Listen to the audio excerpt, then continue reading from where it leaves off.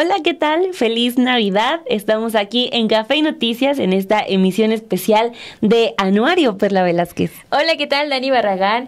Muy buenos días a todos los que se están uniendo a esta transmisión. Sí, es 25, 25 de diciembre y antes de arrancar con este programa, Dani Barragán nos hizo una pregunta. Pero si lo hicimos antes del programa, ¿por qué lo tienes que decir? Porque es algo que nos va a hacer despertar a todos, empezar a mover las conciencias de si hemos hecho bien la labor de divulgar el feliz Navidad. Dice Dani, el día de hoy se dice feliz Navidad, se manda un abrazo, se dan buenos deseos o qué pasa? Pues ya les había dicho que no soy la persona más navideña.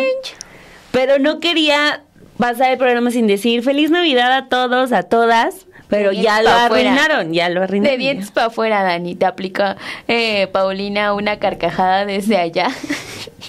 Feliz Navidad, no hagan caso a las voces que les digan lo contrario, que, que busquen empañar la, la carrera de las personas. La carrera. Feliz Navidad a todas y todos. Solo porque no decía una feliz Navidad. Mi carrera de tantos años. Y mi carrera se arruinó. Exacto. Bueno, espero que este día estén acostaditos, de, pues descansando de la fiesta de ayer. Algunos se desvelan, pero pues aquí les hemos preparado eh, mes por mes, pues los temas más importantes, no solo de pues de lo que ocurrió a nivel nacional en México, sino también y hay que aprovechar eh, de los reportajes que le presentamos a lo largo de todo este año en Sin embargo.mx. Así que en este café y noticias le vamos a hablar de lo más importante que ocurrió de en la primera parte de este 2023, Perla. Así es, creo que sí hace énfasis, Dani, ahorita en algo muy importante. Voltear a ver estas investigaciones que se presentaron aquí en Sin embargo.mx. Hubo muy buenas investigaciones eh, de tu autoría, de Álvaro Delgado también, por parte de los periodistas, una serie de entrevistas que fueron muy coyunturales con distintos temas. Entonces, como es mucho material, no lo vamos a poder transmitir completito, pero sí les vamos a dar una pequeña eh, dosis de todo esto que eh, publicamos aquí en sinembargo.mx, en Sin embargo al aire y también en Estudio B, porque ya a mediados de este año nació Estudio B, es verdad. Estudio B.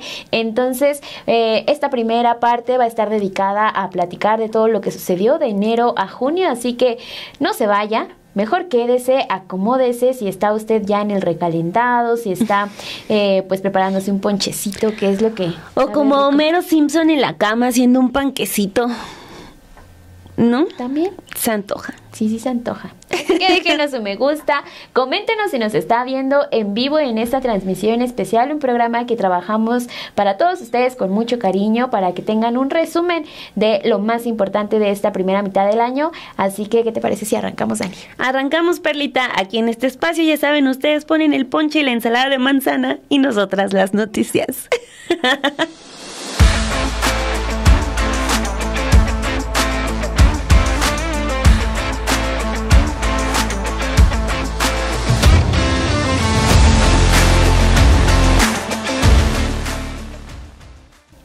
Bienvenidos a este Café y Noticias, edición especial, anuario, enero a junio del 2023. Pasó mucho en esta primera mitad de este año, previo a un año muy agitado que va a ser el 2024 por una elección no solo presidencial, sino por toda la renovación de cargos que se vienen, pero pues no nos adelantemos y situémonos, si les parece, en enero de este 2023. Este año inició con muchas expectativas en México de algo que iba a ocurrir en Nueva York, en Estados Unidos. Luego de eh, pues varios años detenido, Genaro García Luna, el superpolicía del expresidente Felipe Calderón y uno de los autores intelectuales de la llamada guerra contra el narcotráfico, enfrentaría su juicio. Desde el primer día se dieron detalles de las reuniones donde se pagaba a las autoridades que pues supuestamente estaban encargadas de combatir al narcotráfico, se habló de dónde se realizaban estos pagos en plena capital mexicana. Al lugar eh, no solo acudía Genaro García Luna, es decir, a recibir ese dinero, sino también su mano derecha, Luis Cárdenas Palomino, quien junto con otro colaborador, perdón, de García Luna, Ramón Pequeño, fueron acusados en Estados Unidos de recibir sobornos millonarios del cártel de Sinaloa. Vamos a ver este video que nos pinta ese panorama general de lo que pues estábamos a punto de atestiguar en enero del 2023. El primer día propiamente del juicio en una corte de Brooklyn contra Genaro García Luna, el exsecretario de Seguridad Pública en el gobierno de Felipe Calderón dejó la primera acusación directa contra el exfuncionario por parte de un líder narco y varios detalles sobre las supuestas reuniones donde se realizaban los millonarios pagos y otros regalos que criminales le entregaban al llamado superpolicía a cambio de protección, impunidad y otros beneficios. Protegidos por el anonimato y seguridad adicional, los jurados escucharon el lunes el inicio de un inusual juicio en Estados Unidos a un exfuncionario federal mexicano acusado de aceptar sobornos para ayudar a los narcotraficantes que debía estar combatiendo. Sergio Villarreal Barragán, alias El Grande, lugarteniente de los Beltrán Leiva, se presentó la mañana de este lunes como el primer testigo, dijo que García Luna recibía dinero mensualmente del cártel de Sinaloa. En una ocasión, reveló, se entregaron entre 14 y 16 millones de pesos en cajas de papelería de parte de Arturo Beltrán Leiva, líder del cártel que llevaba su nombre. Los pagos eran en billetes desde los 20 dólares, pero usualmente eran en billetes de 100 dólares, aunque el grande reveló que en una ocasión el pago fue tan grande que no cupo en una sola camioneta sub, por lo que el cártel le prestó otra camioneta para llevar las cajas de efectivo, siempre de acuerdo con el relato del convicto. El pago más alto mencionado por Villarreal Barragán, el de 16 millones de dólares, fue en pago por el valor de la mitad de dos toneladas de coca obtenidas de otros grupos antagónicos con la ayuda de la Agencia Federal de Investigación, bajo el mando de la SSP, quien proporcionó la información para apoderarse del cargamento. Las reuniones donde se pagaba a las autoridades se hacían supuestamente, entre otros sitios, en plena capital mexicana. Al lugar no solo acudía García Luna, sino también su mano derecha, Luis Cárdenas Palomino, quien junto con otro colaborador de García Luna, Ramón Pequeño, fueron acusados en Estados Unidos de recibir sobornos millonarios del cártel de Sinaloa. De acuerdo a los fiscales estadounidenses, ambos permitieron al cártel de Sinaloa operar con impunidad en México durante años. En esas reuniones acudían también líderes del cártel, incluidos Edgar Valdés Villarreal, la Barbie, quien en el pasado ya ha acusado a altos funcionarios de recibir sobornos de parte de los grupos criminales y lo que abriría la puerta también a que pueda ser uno de los testigos en carpeta de los fiscales estadounidenses. Villarreal Barragán además dijo que cuando no se podían llevar a cabo reuniones en persona, la comunicación se realizaba a través de radios, más difíciles de rastrear e intervenir.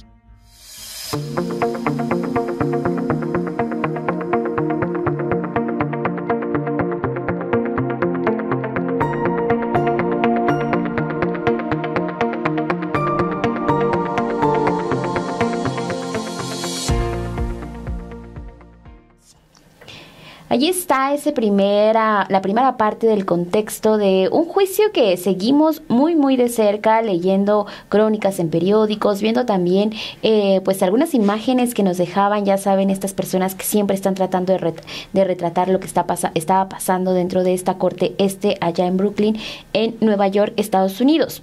Y este arranque del juicio contra el exsecretario de Seguridad Pública mexicano, Genaro García Luna, cumplió sí en parte las expectativas que se tenían sobre él mismo al contar con revelaciones directamente incriminatorias, principalmente del primero de los tres testigos que se presentaron esta semana, que fue la primera semana que empiezan a llamar a varios de los testigos y que revelaron nombres muy importantes. Entre ellos estaba Sergio Villarreal Barragán, alias El Grande, quien describió y dio detalles de las reuniones que tenían los Beltrán Leiva con altos funcionarios de la policía de Vicente Fox y también de Felipe Calderón, para dar millonarios sobornos a cambio de protección en el marco de la lucha contra el crimen organizado. Esto solamente sería parte de lo primero que empezaron a hablar los testigos que estaban declarando pues en contra de Genaro García Luna para comprobar los delitos que se le estaban imputando en Estados Unidos. Vamos a escuchar esta primera parte de lo que le contamos en enero durante eh, el seguimiento que, que realizamos del juicio de Genaro García Luna. La primera semana del juicio se acortó a tres días y concluyó con la percepción generalizada que la primera batalla fue ganada por la defensa, encabezada por el abogado César de Castro, pues ésta obtuvo tres importantes triunfos. Que los fiscales no puedan hablar sobre el enriquecimiento de García Luna después de 2012. Acortar el testimonio de Tirso Martínez Sánchez, el futbolista, mismo que el juez consideró como secundario e irrelevante, y que el juez pidiera al jurado que al momento de evaluar los testimonios de los cooperantes para determinar si García Luna es culpable o no, que consideran también los acuerdos que tuvieron con la Fiscalía.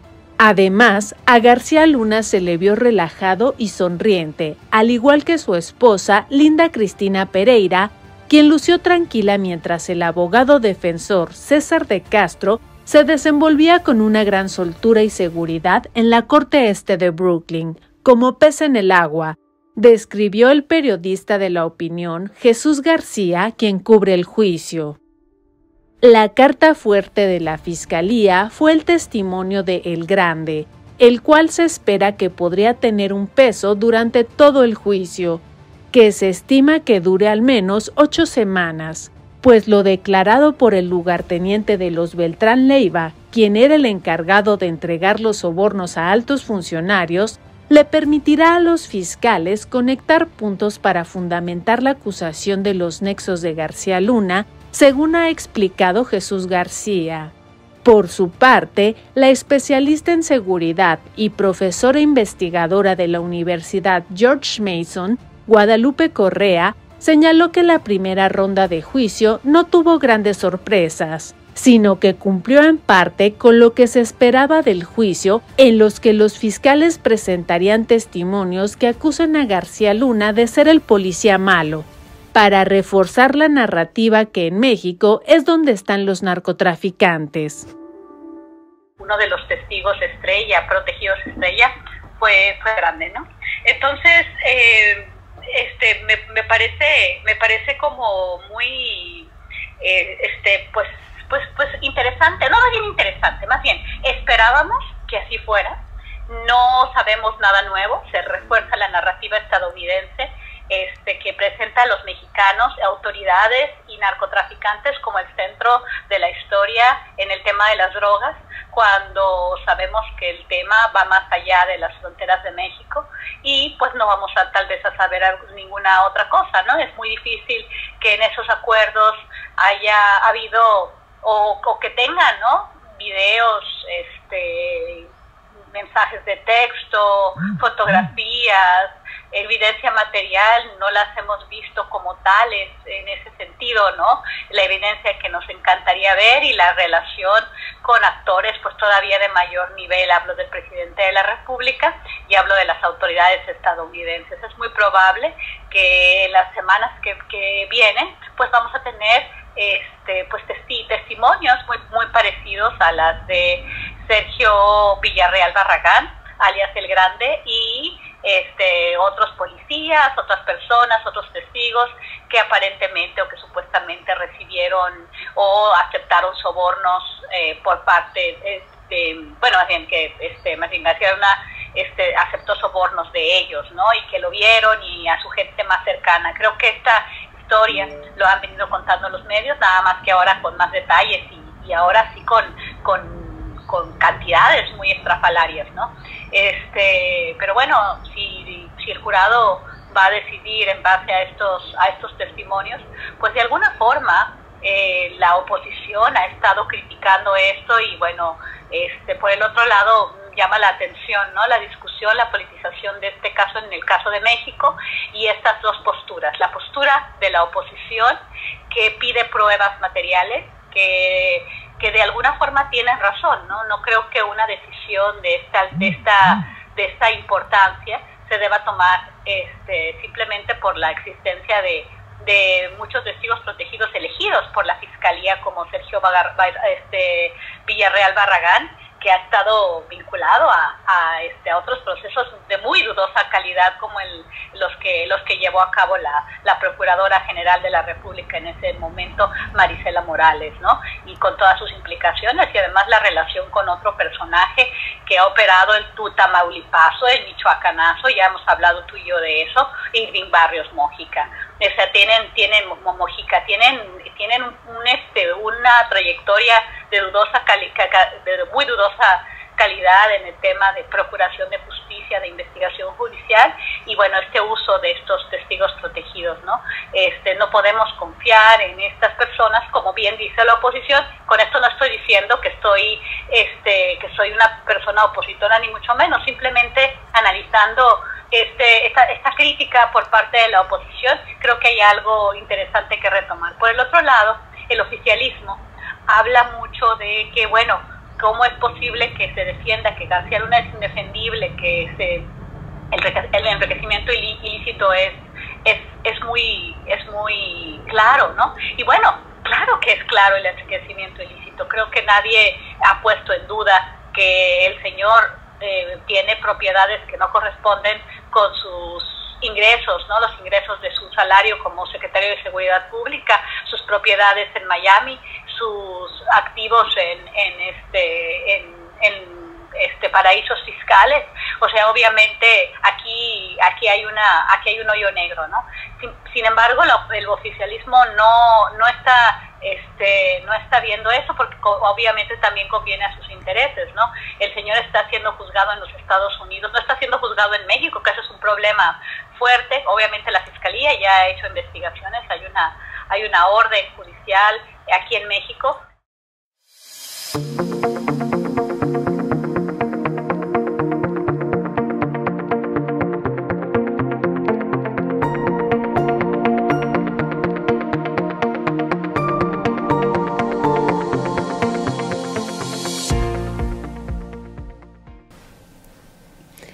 Llegó febrero y trajo buenas noticias. Ahí yo, Perla, pues sí rompí un poco y las dos, puedo decirlo, eh, con esa objetividad periodística, porque, pues bueno, no es que la guerra contra el narcotráfico haya solamente pegado a las víctimas, sino que modificó a un país entero. A todos nos eh, impactó de alguna u otra manera, hasta en hábitos, toda esta guerra. Eh, absurda de Felipe Calderón y de Genaro García Luna. Por eso, en febrero, el día 21, cuando Genaro García Luna fue declarado culpable, se sintió, pues, eh, por fin, una especie de justicia ante algo que muchos pensábamos de si había una razón real para eh, implementar ese tipo de estrategias, si fue un negocio, si fue para legitimar un gobierno que había llegado después de un fraude electoral. Y bueno, con esa, esa resolución del jurado, pues todo empezaba a cobrar un poco de razón. Esto porque Genaro García Luna fue declarado culpable de los de todos los delitos que se le imputaron. Fue culpable de colaborar con los cárteles de la droga, mientras que era el secretario de Seguridad Pública de Felipe Calderón Hinojosa. El jurado encontró la evidencia suficiente para responsabilizar al superpolicía mexicano de estos cinco cargos que pesaban en su contra. Vamos a ver el siguiente video. Genaro García Luna fue encontrado culpable de colaborar con los cárteles de la droga mientras era el secretario de Seguridad Pública del presidente Felipe Calderón Hinojosa.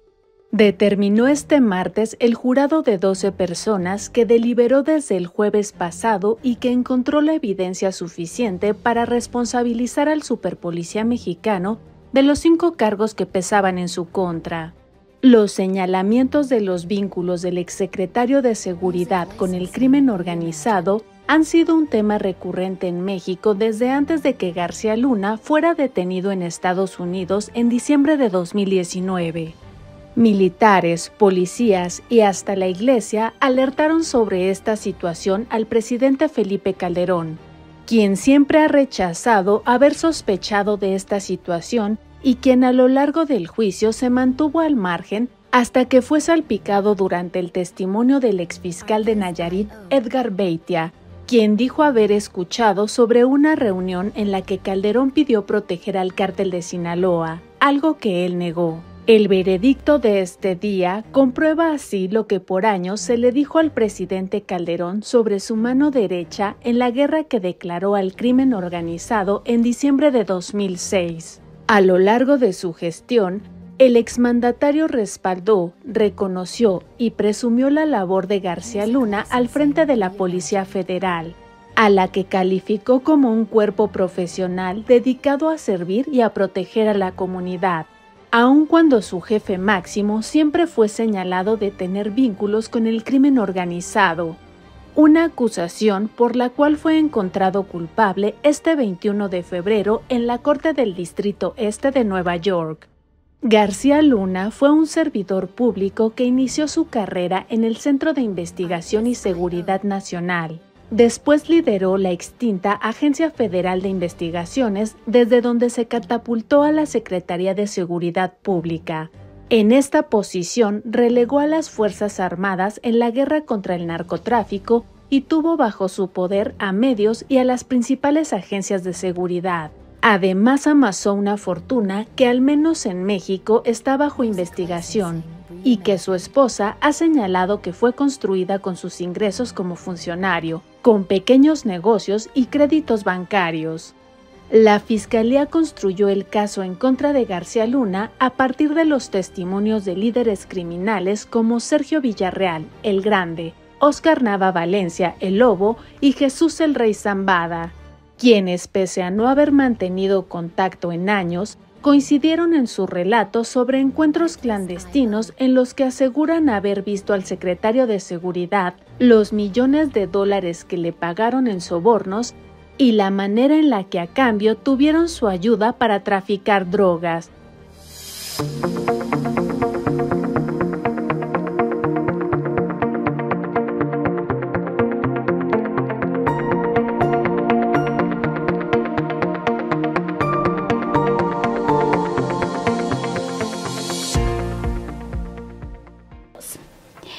Vaya que enero y febrero nos sorprendió con estas declaraciones porque te acuerdas Dani que en, en estos primeros días de febrero también eh, pues se acorta el juicio de Genaro García Luna a todos nos agarró de sorpresa pensábamos que se les estaba cayendo el caso en Estados Unidos y cuando salen a declarar culpable a Genaro García Luna creo que para todos fue un alivio de decir bueno hay justicia. Hay algo. Ajá, en ciertos casos, en ciertos momentos, hay que seguir pendientes. Varios periodistas mexicanos estuvieron cubriendo este juicio en Estados Unidos y pues sí tuvo mucha eh, notoriedad por el cargo que representó este personaje aquí en la seguridad de México.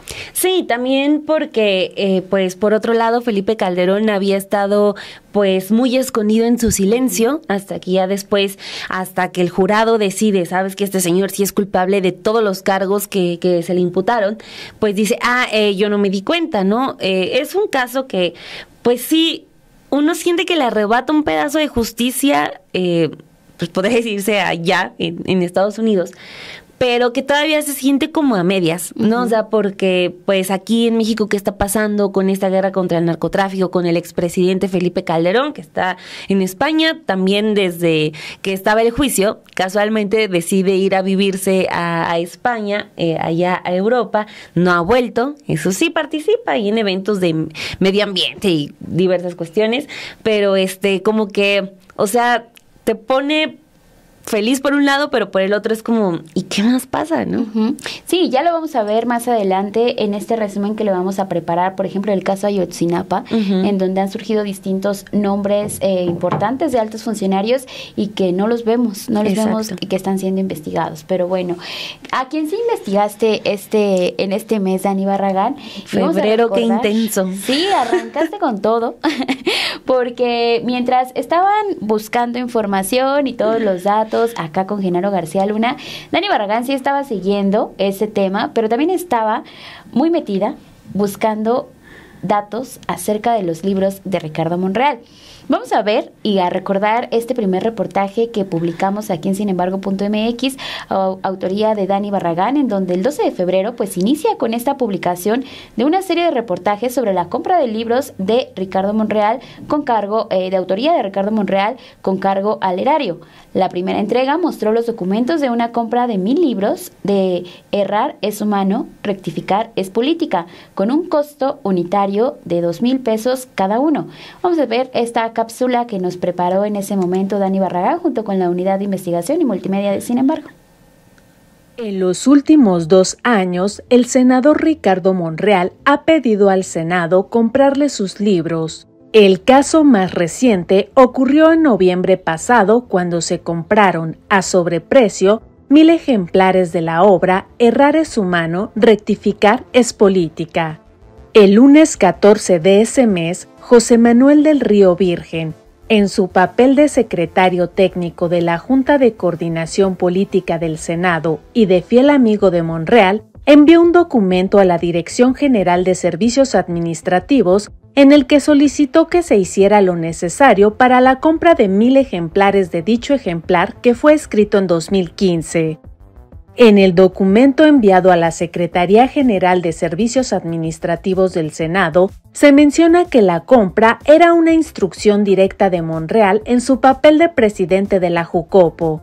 Es decir, el senador Monreal ordenó a Del Río Virgen gestionar la compra de su propio libro. Ocho días después, el contrato por los mil ejemplares de la obra de Monreal estaba listo la Dirección General de Recursos Materiales y Servicios Generales pagó a la Sociedad de Editores Libreros SADCB 2 millones de pesos, es decir, 2 mil pesos cada ejemplar que consta de 300 páginas y tiene una encuadernación rústica. Y aunque en el oficio que firmó del Río Virgen estipula que los libros son para el acervo bibliográfico del Senado, en realidad ese título está a la venta en el Senado a un precio de 350 pesos. Otros ejemplares han terminado como obsequios que el senador ha entregado en distintos eventos, como la reciente plenaria de los diputados de Morena.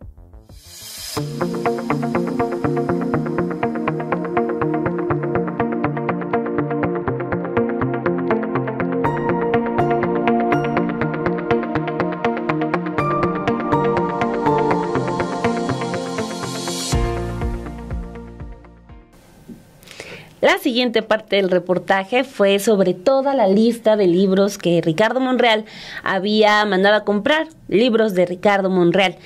Eh, pues ustedes lo recuerdan, son oficios obtenidos a través eh, de transparencia en donde pues se puede leer la orden de Monreal para que diversos senadores, en específico cuatro, compren su obra para robustecer el acervo del Senado. Bueno, estamos hablando que del 30 de junio del 2021 hasta la fecha, el Senado de la República ha pagado por 13.300 libros de Monreal un monto de 6.290.993 pesos. Vamos a ver esta parte 2 del reportaje. Desde el 30 de junio de 2021, el Senado de la República ha pagado por 13.300 libros de la autoría de Ricardo Monreal un monto de 6.290.993 pesos. Se trata de seis contratos firmados entre dicha Cámara y la Sociedad de Editores Libreros SADCB, empresa a la que se le han asignado los contratos por adjudicación directa. Las solicitudes, idénticas en su contenido, han salido tanto en la Junta de Coordinación Política como también del Partido Morena. El grupo parlamentario, con las firmas de Higinio Martínez y Freida Maribel Villegas, fue quien solicitó formalmente los libros. Y en las seis solicitudes se puede leer que la petición se gira por instrucciones del senador Monreal. Ricardo Monreal giró una primera instrucción para imprimir libros con el objetivo de enriquecer el acervo del Senado. Se trató del libro La Reforma Educativa, un reporte desde el Senado, escrito por el actual gobernador de Sinaloa, Rubén Rocha Moya, con prólogo del mismo Ricardo Monreal. Por 1.500 ejemplares se pagó a la editorial Miguel Ángel Porrúa 730 mil pesos, 420 pesos por cada ejemplar. El 29 de marzo, Higinio Martínez solicitó que se realizaran las acciones necesarias para comprar 3.000 ejemplares de las grandes reformas para el cambio de régimen a dos años de trabajo legislativo escrito por Monreal. El Senado pagó por ellos 950.040 pesos. El 24 de junio solicitaron Higinio y Freida Maribel otros 3.000 ejemplares de Inversión y Comercio para la región América del Norte, los beneficios del TEMEC, por los que el Senado pagó 650.730 pesos. El 5 de julio solicitaron al Senado imprimir 3.000 ejemplares de las grandes reformas para el cambio de régimen, Tres años de trabajo legislativo, volumen 2, que costaron 1.245.850 pesos. El 28 de febrero, los mismos senadores metieron el mismo oficio para solicitar 3.000 ejemplares de Constitución del Pueblo de México, su actualidad y trayectoria 1917-2022. Y el Senado pagó a Miguel Ángel Porrúa 844.830 pesos, tanto para la impresión como para una investigación para la actualización del contenido del libro, además de edición y corrección. Otro de los contratos fue para obtener 300 ejemplares del Poder Legislativo. Con esta compra se vuelve a registrar el problema del sobreprecio, ya que el Senado pagó 400 mil pesos por estos libros de 604 páginas, que tuvieron un costo unitario de 1.334 pesos, cuando el libro tiene un costo de 800 pesos o con descuento 640 pesos.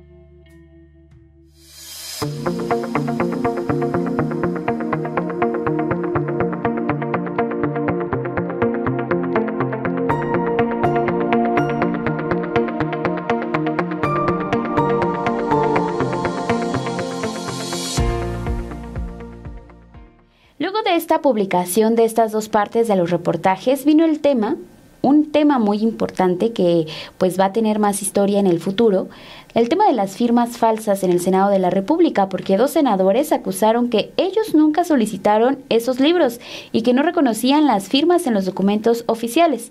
Vamos a ver esto que nos preparó también Daniela Barragán junto con la Unidad de Investigación y Multimedia de Sin embargo. Eh, usted eh, sería el mayor implicado en esta compra eh, de libros que hizo el Senado de obras de Ricardo Monreal. Su firma aparece en cinco de los seis contratos que están publicados en la Plataforma Nacional de Transparencia. ¿Usted firmó estas solicitudes? A ver, no sé si yo sea el mayor implicado. Lo que, por lo que yo acepté esta entrevista es para aclarar una parte de, tu reportaje. No, no puedo aclararlo todo porque no me corresponde, pero una parte sí. En tu reportaje se habla de que Higinio Martínez, como senador de la República e integrante de la Junta de Coordinación Política, este, solicitó el pago de la edición de unos libros por instrucciones del senador Monreal. Lo que yo vi en tu reportaje, en los documentos que te presentas, sí está mi nombre, pero no es mi firma. Por eso acepté la, la entrevista. Porque sí está mi nombre en los documentos que tú presentas en el, en el, en el reportaje, pero esta, tengo que decirlo públicamente, y me de decirlo por si se lastima a alguien, pero esta no es mi firma. Del reportaje que tú publicas, estas no son mis firmas, con lo cual lo primero que tengo que decir es que entonces alguien falsificó mis firmas utilizando mi nombre para solicitar lo que aquí dicen estos, en estos documentos, eh, que por instrucción del senador Monreal. Entonces, esas firmas no son mías. Y lo digo públicamente, frente a ti y a todo tu auditorio. ¿Alguien los falsificó? ¿Quién? No lo sé. Ahí. Segundo, a mí jamás el senador Monreal, él es el presidente de la Junta, yo soy integrante de la Junta de Coordinación Política por parte de Morena. Jamás el senador Monreal me pidió alguna vez que firmara yo eh, alguna, alguna petición de carácter económico. Nunca. Él no, nunca a mí me dijo, oye, eh, necesitamos firmar esto, necesitamos esto, lo otro, aquello, él no lo hace. Él, no les, él a mí nunca me pidió firmar un documento para que se editaran unos libros a cuenta del Senado. Él nunca me pidió, las firmas que ahí aparecen no son mías, hay una falsificación y eso es lo que yo tengo que decir sobre este asunto. Ahora mismo se está poniendo en contacto aquí a la redacción de Sin embargo al aire. Está ahora mismo la senadora Imelda Castro Castro, que es integrante de la Junta de Coordinación Política y una de las firmantes, al menos en apariencia, de los oficios que le permitieron comprar a el senador Monreal Libros y también está ahora mismo con nosotros la compañera periodista eh, Daniela Barragán, autora de estos reportajes, a quienes damos la bienvenida. Muchísimas gracias, senadora, por estar aquí. Muchas gracias a ustedes. ¿Cómo está, senadora Imelda Castro, senadora de, de Sinaloa? Y yo le quiero preguntar, bienvenida Dani, le quiero preguntar, usted firmó esos oficios para la adquisición de libros por instrucciones del senador Ricardo Monreal? ¿Reconoce como suyas las firmas? Mira, Álvaro, eh, eh, Daniela, eh, Varela, miren, yo, yo no he estado todo el día analizando no solo la firma, sino también el texto del oficio. Y definitivamente yo no reconozco esa firma como mía, pero no sé, eh, francamente, si es el mismo caso del senador Higinio Martínez o es algo distinto. Es decir, la posibilidad de que mi firma se haya sobrepuesto en, en un este que venga de otro documento, de otros acuerdos que tomamos a veces y que firmo y que se haya este sobrepuesto. Creo que puede ser distinto a lo que ha dicho el senador Higinio, que es una falsificación de su firma. Al final de cuentas da lo mismo, pero yo, yo sí estoy este, pues, eh, clara de que ese, ese oficio no lo pude haber firmado jamás en la vida porque en primer lugar dice por instrucciones y nosotros somos pares. O sea, el compañero Ricardo Monreal, pues yo lo respeto mucho, pero es nuestro coordinador. Pero somos pares, él no nos da instrucciones estrictamente hablando. Y, y he analizado ese texto desde la primera letra hasta la última, jamás me lo presentaron para que yo lo firmara, porque a mí me hubiera brincado la manera tan burda en la que está elaborado, porque además dice que se exime al proveedor de la obligación de presentar la fianza de garantía. O sea, eso yo no puedo firmarlo, no va con mi ética, con mi moral, o sea, no tiene sentido. O sea, yo no reconozco que mi voluntad esté en ese oficio. Senadora, está la compañera Daniela Barragán eh, se está conectando, que es la autora de los reportajes, y ella le va a preguntar a continuación, eh, y voy, la vamos a oír un poco doble, pero aquí está la pregunta de Daniela Barragán. Senadora, buenas noches. En uno del, en el contrato en el que aparece su firma, este, nos encontramos con un sobreprecio. Usted en apariencia firma para comprar el libro llamado Poder Legislativo. Sería una compra de 300 ejemplares que le costaron al Senado 1.334 pesos. Cada libro. En total fue un contrato de 464 mil pesos. Esto ocurrió el 20 de mayo del 2022. Eh, de, eh, no reconoce tampoco usted que dentro de la Junta de Coordinación Política se haya hablado de que se necesitaba comprar libros para, para fortalecer el acervo del Senado o en ningún momento usted se enteró siquiera que estaban llegando esta tal cantidad de libros.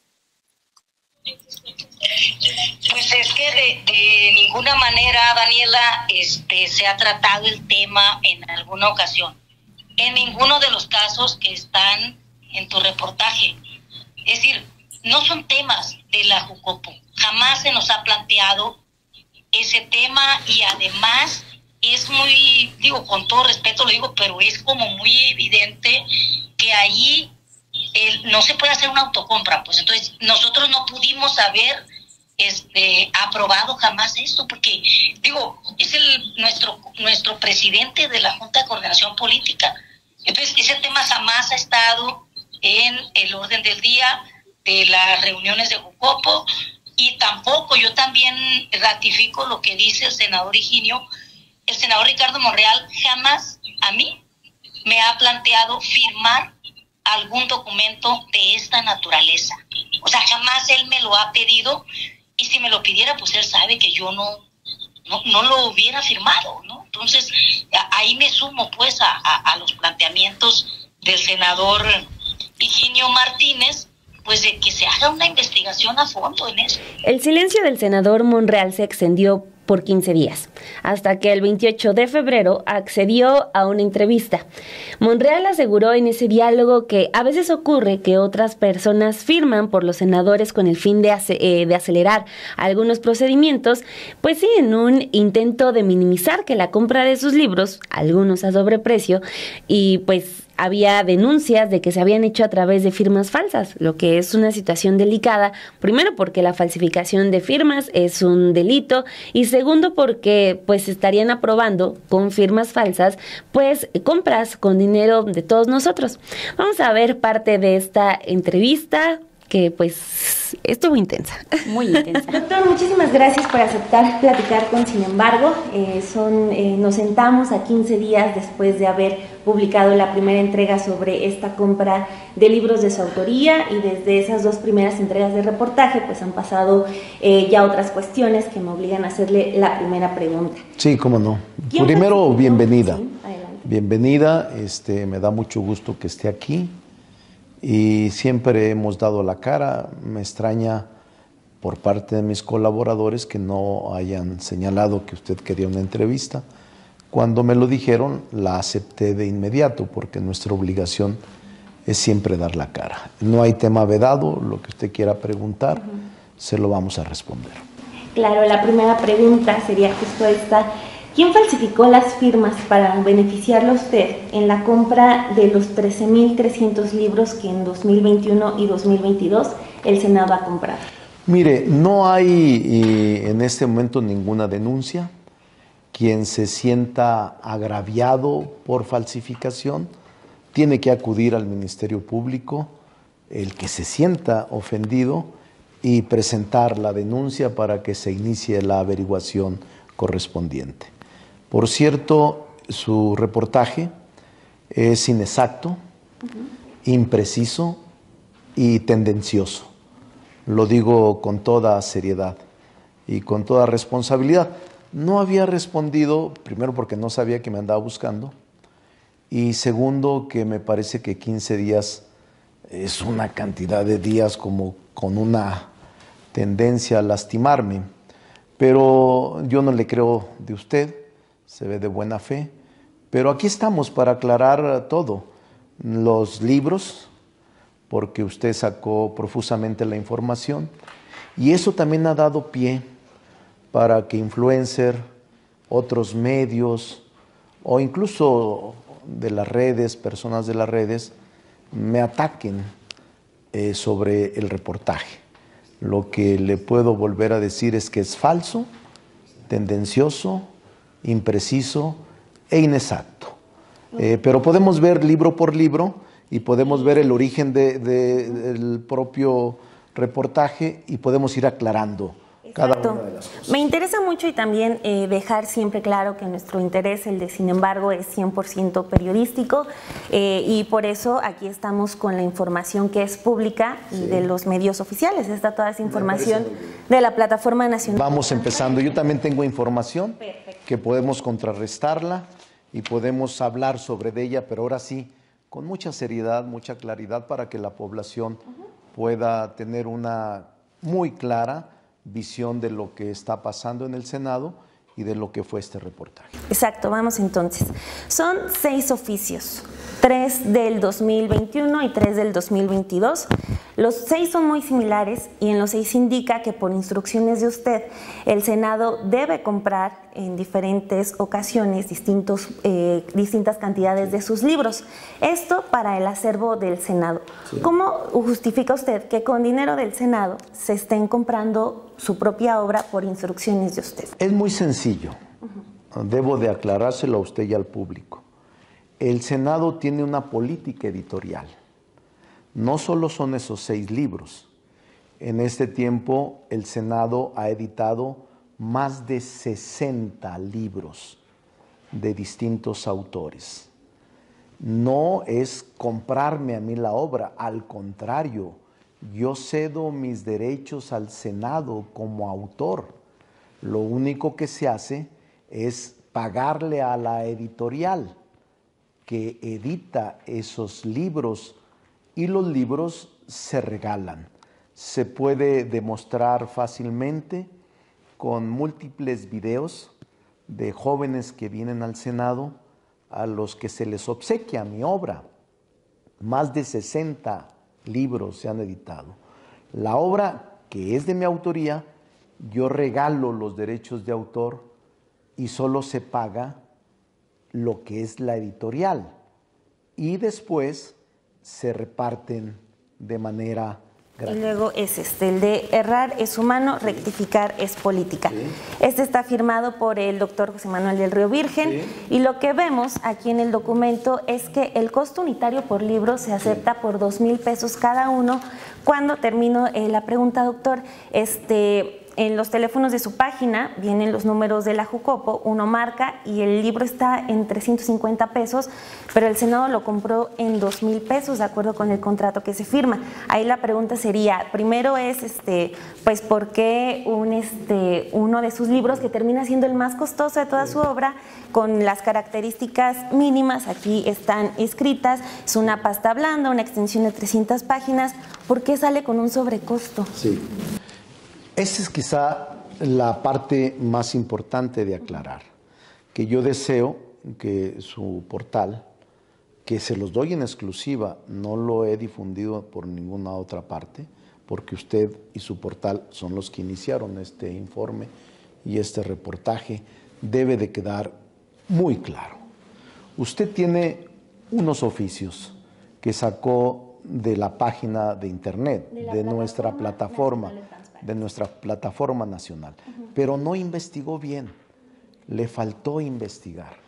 Y esa es la circunstancia. Mire usted, aquí se lo voy a dar y le voy a dar copia y lo puede buscar también en la plataforma.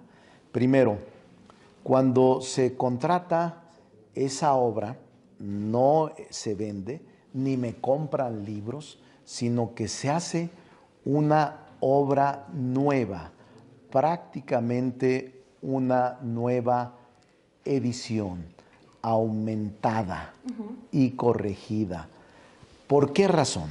Primero, ustedes sacan un libro que lo edité hace 10 años, en el, 1900, en el 2005 creo, hace 15 años, edité este libro. Es más, me extrañó que ustedes lo sacaran porque ya no hay este libro este, este, este particularmente.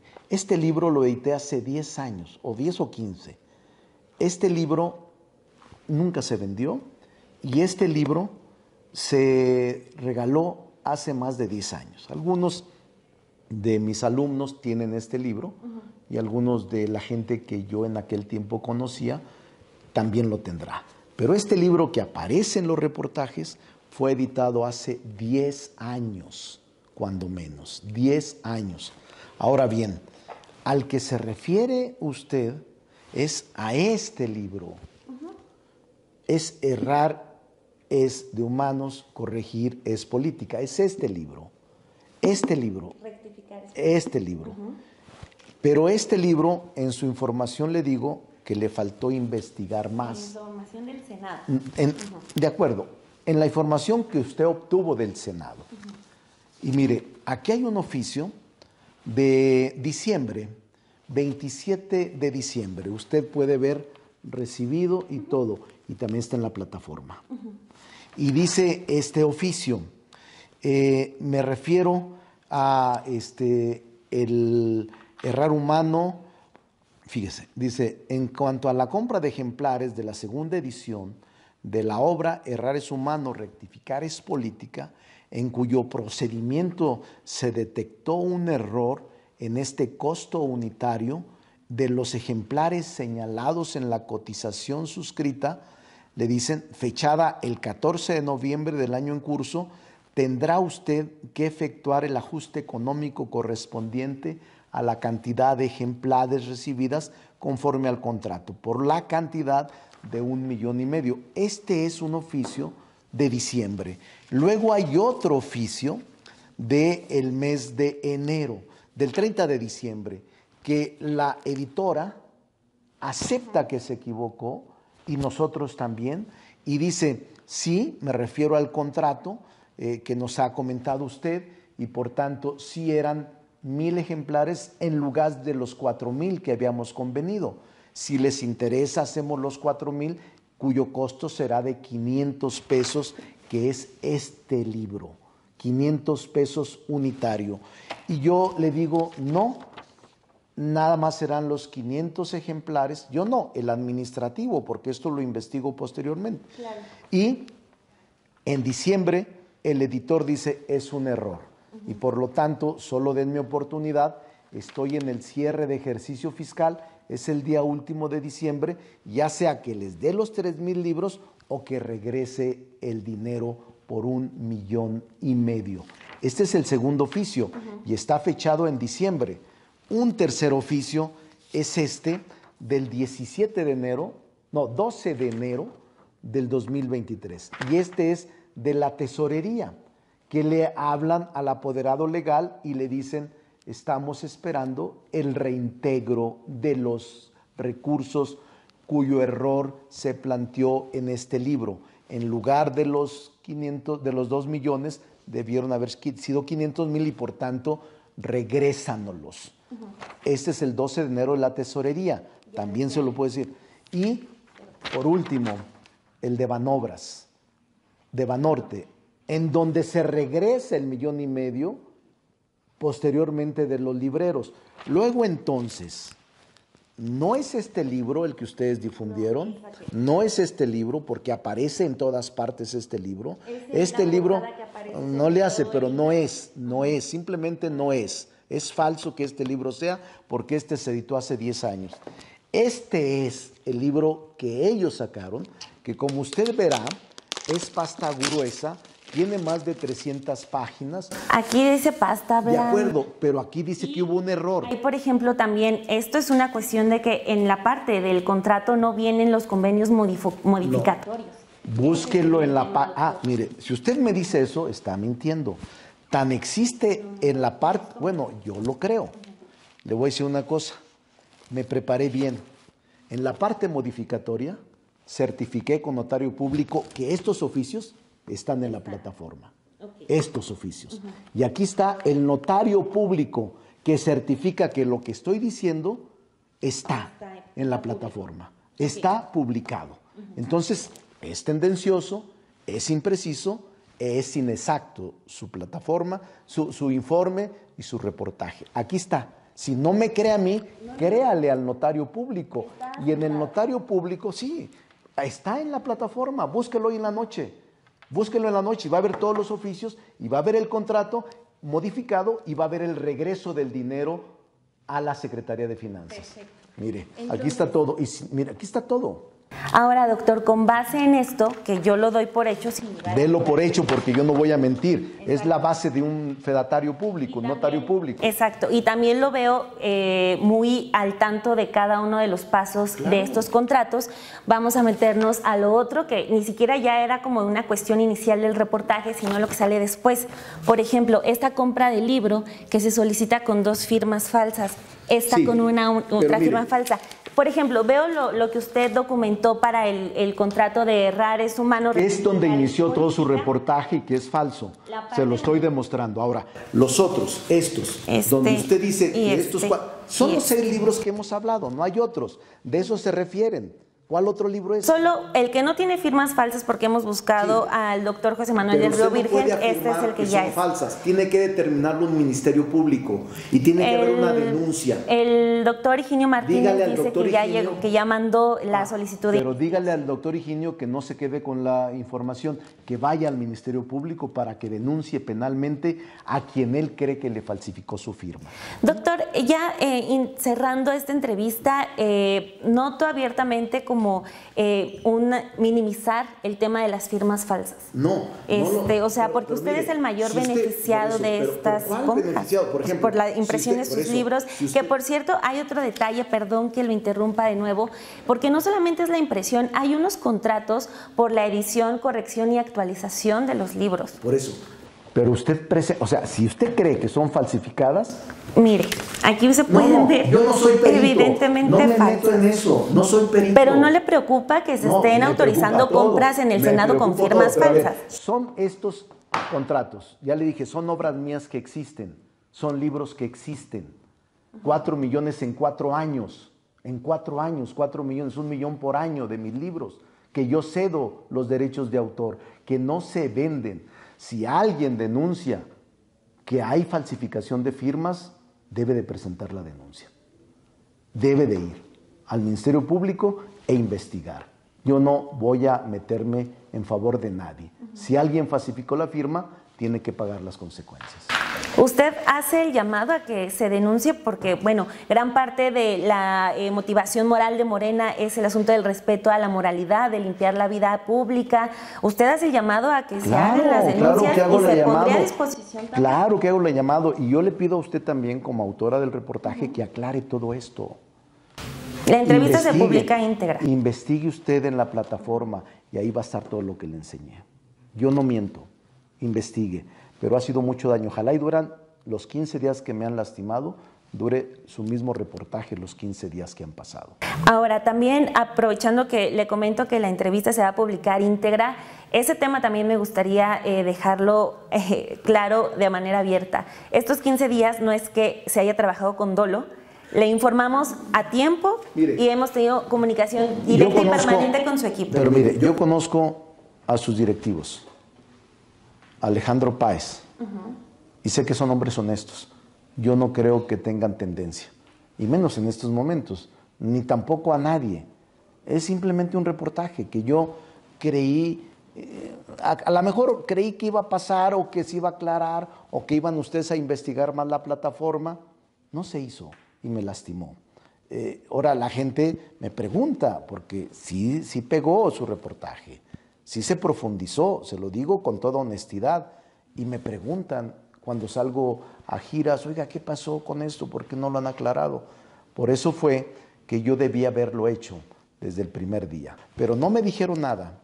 Y eso no es, causa suya, sino de los colaboradores míos de comunicación social. Entonces, dejamos asentado lo de errar es humano y la puerta abierta para hablar sobre, oficios sobre los oficios. no, sí, claro, esos me los quedo. y aquí está, mire, el recibo de Banorte. Pero le puedo dar también, ¿sabe qué? Este, más información, si usted quiere pero yo creo que con eso lo tiene. Y este y sí, por último cerrar con este tema de que si nadie presenta alguna queja por la falsificación de las firmas, el tema quedaría ahí. No, yo creo que lo van a presentar. A mí me interesa que se aclare. Yo no voy a proteger a nadie. Tengo servidores públicos muy honestos y si alguien cometió un error, pues tiene que pagar. Una falsificación de firma sería un error.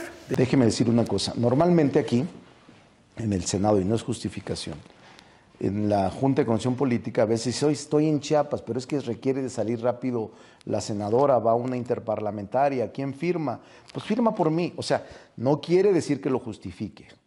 Pasa, sucede. Pero en todo caso, yo lo que le digo a ustedes es que quien se sienta ofendido, agraviado de que su nombre y su firma fue falsificado, lo más correcto es que presente denuncia penal. Perfecto, muchísimas gracias. Sabe todos estos eh, videos que le estamos presentando, la versión completa la puede seguir checando en sinembargo.mx y también recordar estos libros de Monreal como un hecho importante de estas investigaciones que realizamos en sinembargo.mx y un texto de Dani Barragán. Vamos a pasar a marzo, porque en marzo vino eh, pues esta polémica una vez más o agarró fuerza la polémica de la Suprema Corte de Justicia de la Nación, porque recordemos que en enero de este año es cuando Norma Lucía Piña Hernández ya toma protesta como la ministra presidenta de esta Corte y representante también del Poder Judicial. Álvaro Delgado publica en este mes un reportaje sobre el círculo cercano de Norma Piña, quien apenas llegaba a la presidencia de la Suprema Corte. Un dato importante que da a conocer eh, Álvaro Delgado es que Primo le llama la ministra Norma Piña, Lucía, Norma Lucía Piña Hernández a Miguel Ángel Osorio Chong. Vamos a conocer la historia. La ministra Norma Piña le llama primo al priista Miguel Ángel Osorio Chong, quien como secretario de Gobernación cabildeó en el Senado para que su parienta lejana y paisana hidalguense llegara a la Suprema Corte de Justicia de la Nación en 2015, impulsada por el presidente Enrique Peña Nieto, mediante su consejero jurídico Humberto Castillejos Cervantes. Y ya en el cargo de presidenta de la Suprema Corte, a partir de enero de 2023, Piña designó como secretaria ejecutiva de Administración del Consejo de la Judicatura Federal, el órgano administrativo del Poder Judicial que también preside, a Fernanda Casanueva de Diego, oficial mayor de Luis Videgaray Caso en las Secretarías de Hacienda y Relaciones Exteriores. Así, los tres principales colaboradores de Peña Nieto en la presidencia de la República, Videgaray, Osorio Chong y Castillejo Cervantes, están vinculados directamente al ascenso de la ministra Piña, pese a que, cuando fue propuesta para ese cargo, ocupaba el último lugar en desempeño de todas las magistradas de circuito. Pero la ministra Piña no solo ha tenido el apoyo de Peña, sino que también reclutó a quien fue la coordinadora de comunicación social de la campaña de la panista Josefina Vázquez Mota por la presidencia de la República en 2012, Carla Garduño Morán.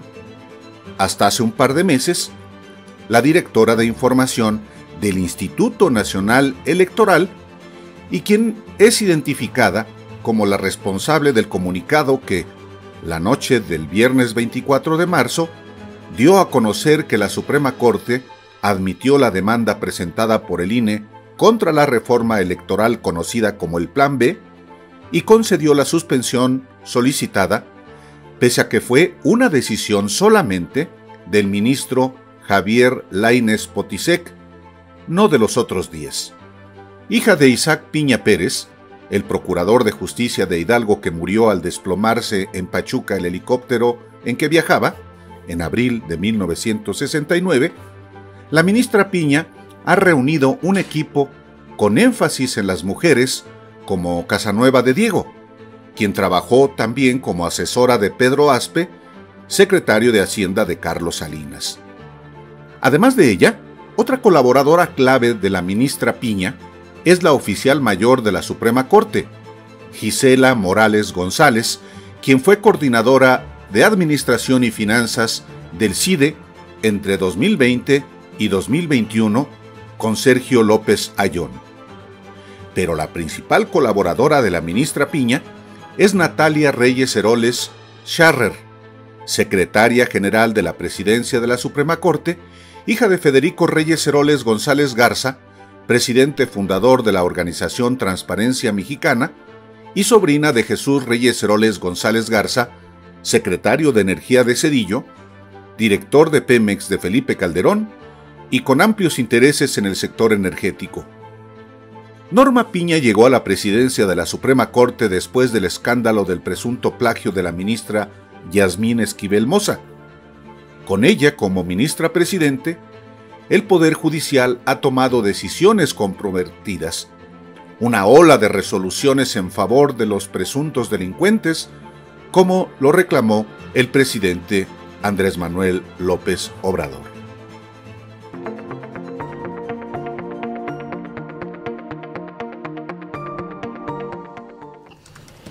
Pues sí, el primo de la ministra. Fue una historia que causó muchísimo revuelo. Siguiéndonos con este mes, marzo, pues fue Día de la Mujer, 8 de marzo, y acá sus servidoras, Perla Velázquez y Yomera, pues hablamos con dos activistas, madres de mujeres que fueron víctimas de feminicidio, que han dado una batalla para buscar justicia para sus hijas y al mismo tiempo justicia para muchas, muchas, muchas más. Vamos a ver este reportaje que le presentamos con motivo del Día Internacional de la Mujer.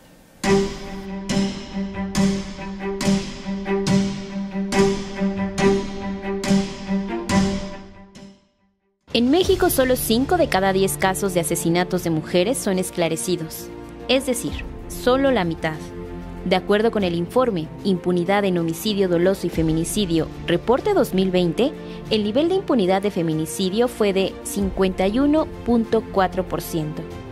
Irinea Buendía, madre de Mariana Lima Buendía, logró obtener una sentencia que obliga a todas las autoridades a investigar toda muerte violenta de una mujer como feminicidio.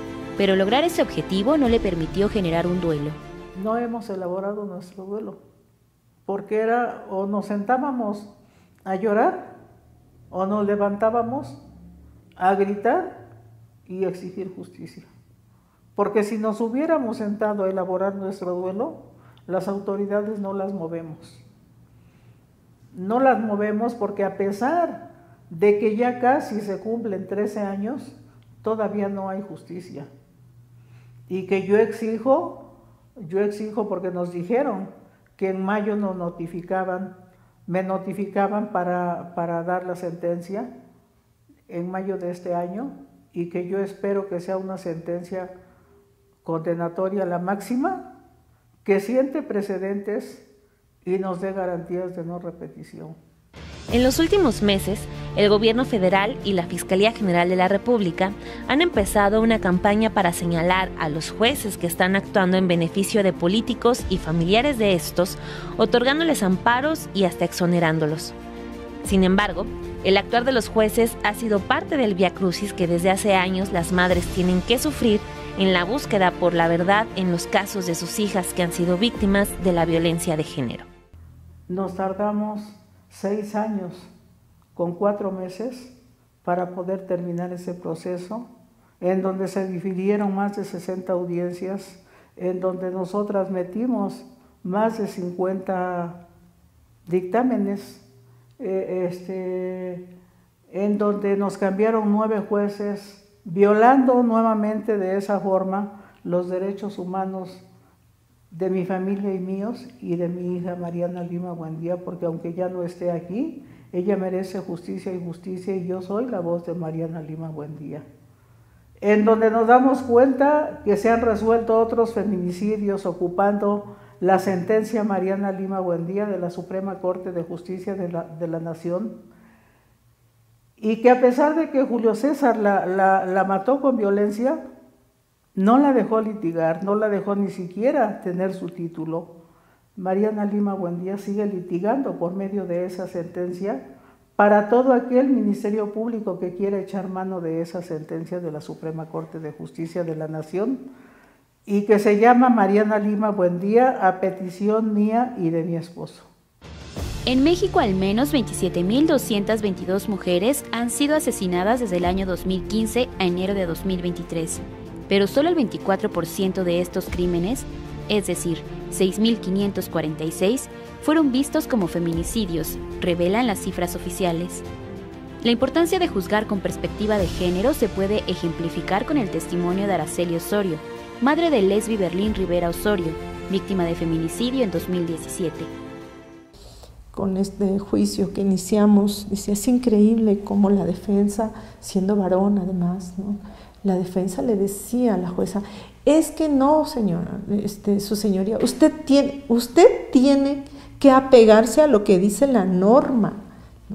Y entonces decía, claro, deje la perspectiva de género, deje el marco de derechos humanos, o sea, usted apéguese a la norma.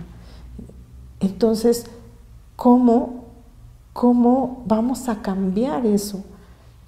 ¿Cómo las juezas, los jueces, magistradas, magistrados van a decir, a ver, permítame, no, no es que me apegue a la norma, es que le dé una interpretación desde una perspectiva de derechos humanos, porque es una violencia de género contra, cometida contra una mujer, y además se violentaron su derecho humano a la memoria de la persona fallecida. Entonces, claro que tengo que traer a colación eh, los derechos humanos y la perspectiva de género. Entonces, es ese tipo de cosas que es tan básico, tenemos que recordárselo cada vez. Por eso cada vez que sacamos un desplegado decimos, y exigimos al Poder Judicial que mm, eh, dé, una, una sentencia eh, apegada a derecho con perspectiva de género y con un enfoque de derechos humanos. Eh, tenemos que estárselo diciendo, tenemos que decirle que esa es su obligación y que aunque las defensas les digan, usted céntrese en esto, no, no nos vamos a centrar en eso. Tenemos que ver el contexto. Para eso nos sirven las ciencias sociales y los peritajes en materia de ciencia social, que son tan importantes.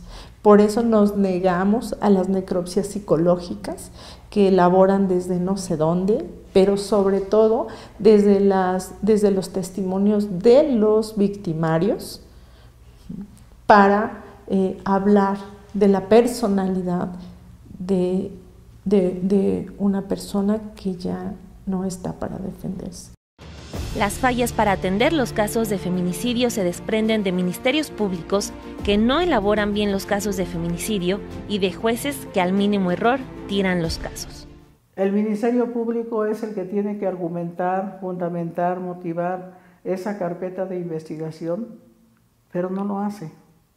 En esa sentencia, Mariana Lima Buendía dice todos los pasos que se tienen que seguir y que cualquier ministerio público que quiera resolver un feminicidio y quiera que, que se le dé una sentencia condenatoria, y que siente precedentes y nos dé garantías de no repetición, tendría que, echar mano de esa sentencia Mariana Lima Buendía para poder este, lograr realmente que los asesinos feminicidas estén en la cárcel, porque allí es el lugar donde deben de estar, porque muchas veces los jueces los dejan libres porque precisamente esa carpeta de investigación no va bien fundamentada, no va bien motivada, no va bien argumentada, porque el Ministerio Público no lo quiere hacer, no tiene voluntad política para hacerlo. Porque si lo quisiera hacer, herramientas hay muchas.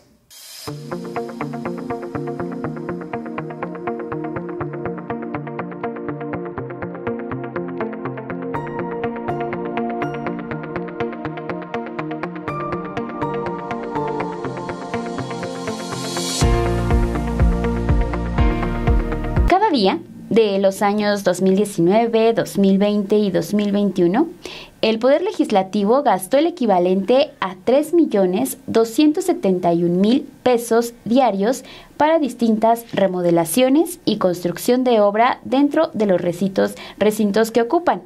Este dato es de otra investigación que presentamos aquí en Sin embargo MX con autoría de Dani Barragán, porque se metió a buscar en qué estaban gastando el dinero dentro del poder legislativo, para dónde se iba el recurso que estaba llegando y esto fue lo que encontró. Cada año de los años 2019, 2020 y 2021, el Poder Legislativo gastó el equivalente a 3.271.000 pesos diarios para distintas remodelaciones y construcción de obra dentro de los recintos que ocupan. De acuerdo con lo reportado en la cuenta pública, en esos tres años la Cámara de Diputados y la Cámara de Senadores ha hecho uso de las partidas presupuestarias que le permiten solicitar remodelaciones, compra de bienes muebles y servicios de mantenimiento. Así, el Senado de la República pagó 1.313.272.558 pesos y la Cámara de Diputados 2.268.937.709 pesos. En 2019, en los llamados gastos de inversión, gastó 154 millones mil pesos en bienes muebles, inmuebles e intangibles, 61 millones 205 mil 200 pesos en mobiliario y equipo de administración, 49 millones 764 mil en materiales y artículos de construcción y de reparación, y 223 millones 511 mil en servicios de instalación, reparación, mantenimiento y conservación.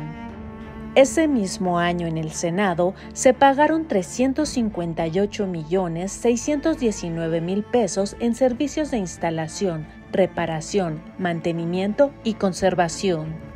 77 millones 121 mil pesos en obra pública en bienes propios y otros 99 millones 582 mil pesos en mobiliario y equipo de administración. El gasto en los años siguientes no disminuyó, sino que se mantuvo.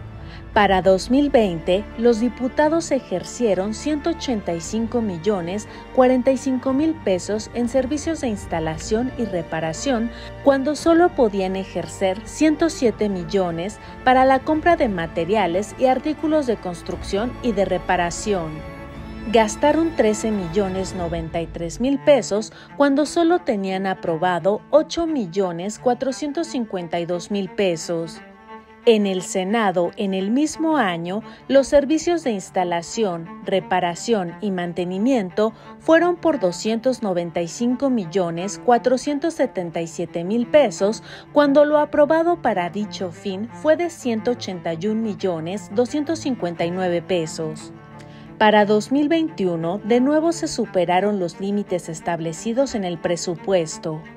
En la Cámara de Diputados, para mobiliario y equipo, se gastaron 50 millones 857 mil pesos, cuando la partida tenía tope de 20 millones de pesos.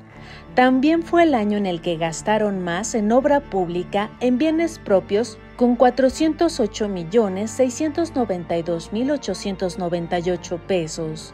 El monto aprobado inicialmente para ese rubro era de 135 millones de pesos.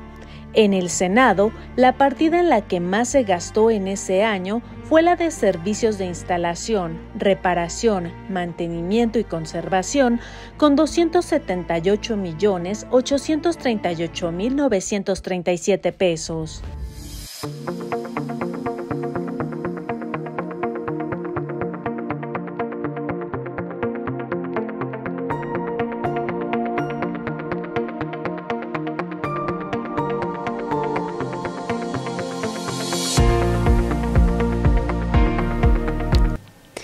Porque ese reportaje era el que yo estaba haciendo cuando me encuentro los contratos de los libros de Monreal. Ese era el original. Después salió el que, del que ya hablamos ampliamente. Bueno, con ese reportaje nos brincamos de una vez a abril. Abril fue pues la salida de una generación de consejeros del INE, que vaya que causó polémica, pero que también vino a inyectar de vida a una oposición que, por cierto, en este 2023 tampoco está pues muy viva y con muchas esperanzas que digamos. Vámonos con este primer video. Lorenzo Córdoba, el consejero presidente del INE que terminó su periodo justo a inicios de este mes de abril, eh, pues antes de abandonar el cargo dijo que vendrían tiempos de persecución política, pero que estaba listo para las batallas que se avecinaban. Sin embargo, un día después de dejar la titularidad del Instituto Nacional Electoral, anunció su colaboración semanal con el diario Latinos, sí, como un camino muy natural, así como su regreso a su plaza académica en el Instituto de Investigaciones Jurídicas de la Universidad Nacional Autónoma Autónoma de México.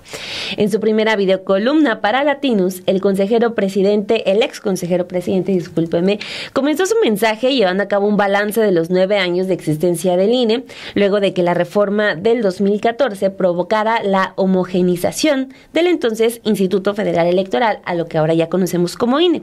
Vamos a ver este video al respecto.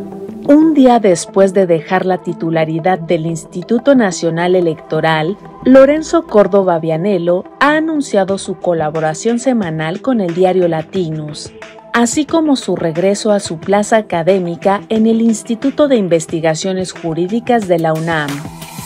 En su primera videocolumna para Latinus, el exconsejero presidente comenzó su mensaje llevando a cabo un balance de los nueve años de existencia del INE, luego de que la reforma del 2014 provocara la homogeneización del entonces Instituto Federal Electoral. Además de destacar la organización de 331 procesos democráticos, incluyendo elecciones federales, locales, comicios extraordinarios, los dos ejercicios de participación ciudadana a nivel nacional y otros dos procesos de elección para las dirigencias de Morena y del Partido de la Revolución Democrática, el ex titular del INE aprovechó su primera videocolumna para criticar el Plan B de la reforma electoral impulsada por el presidente Andrés Manuel López Obrador. Córdoba destacó que en los nueve años del INE, que son también en los que él fungió como consejero presidente, han sido los más estables en materia electoral, destacando el mayor nivel de alternancia en toda nuestra historia democrática a nivel nacional con un índice nacional de poco más del 62%, lo que significa de otra manera que en estos años la probabilidad que tiene un partido político que ha ganado una elección y vuelva a triunfar es de apenas de una entre cada tres. El exconsejero aseguró que el Plan B electoral pretende desmantelar la estructura del INE a través de la desaparición del 85% de las plazas que integran el servicio profesional electoral, el cual está conformado por funcionarios públicos que ingresaron a sus cargos mediante concurso público y posteriormente evaluados anualmente. Dicho servicio profesional, prosigue Córdoba, es la columna vertebral del INE, ya que sus funciones incluyen la organización de elecciones, brindar el servicio para garantizar la credencial con fotografía que cada ciudadano porta al cumplir la mayoría de edad requerida, además de fiscalizar los recursos que reciben y gastan los partidos. El pasado primero de abril, Lorenzo Córdoba adelantó que una vez que dejara su cargo de consejero presidente del INE, vendrían tiempos de persecución política, pero que está listo para las batallas que vienen.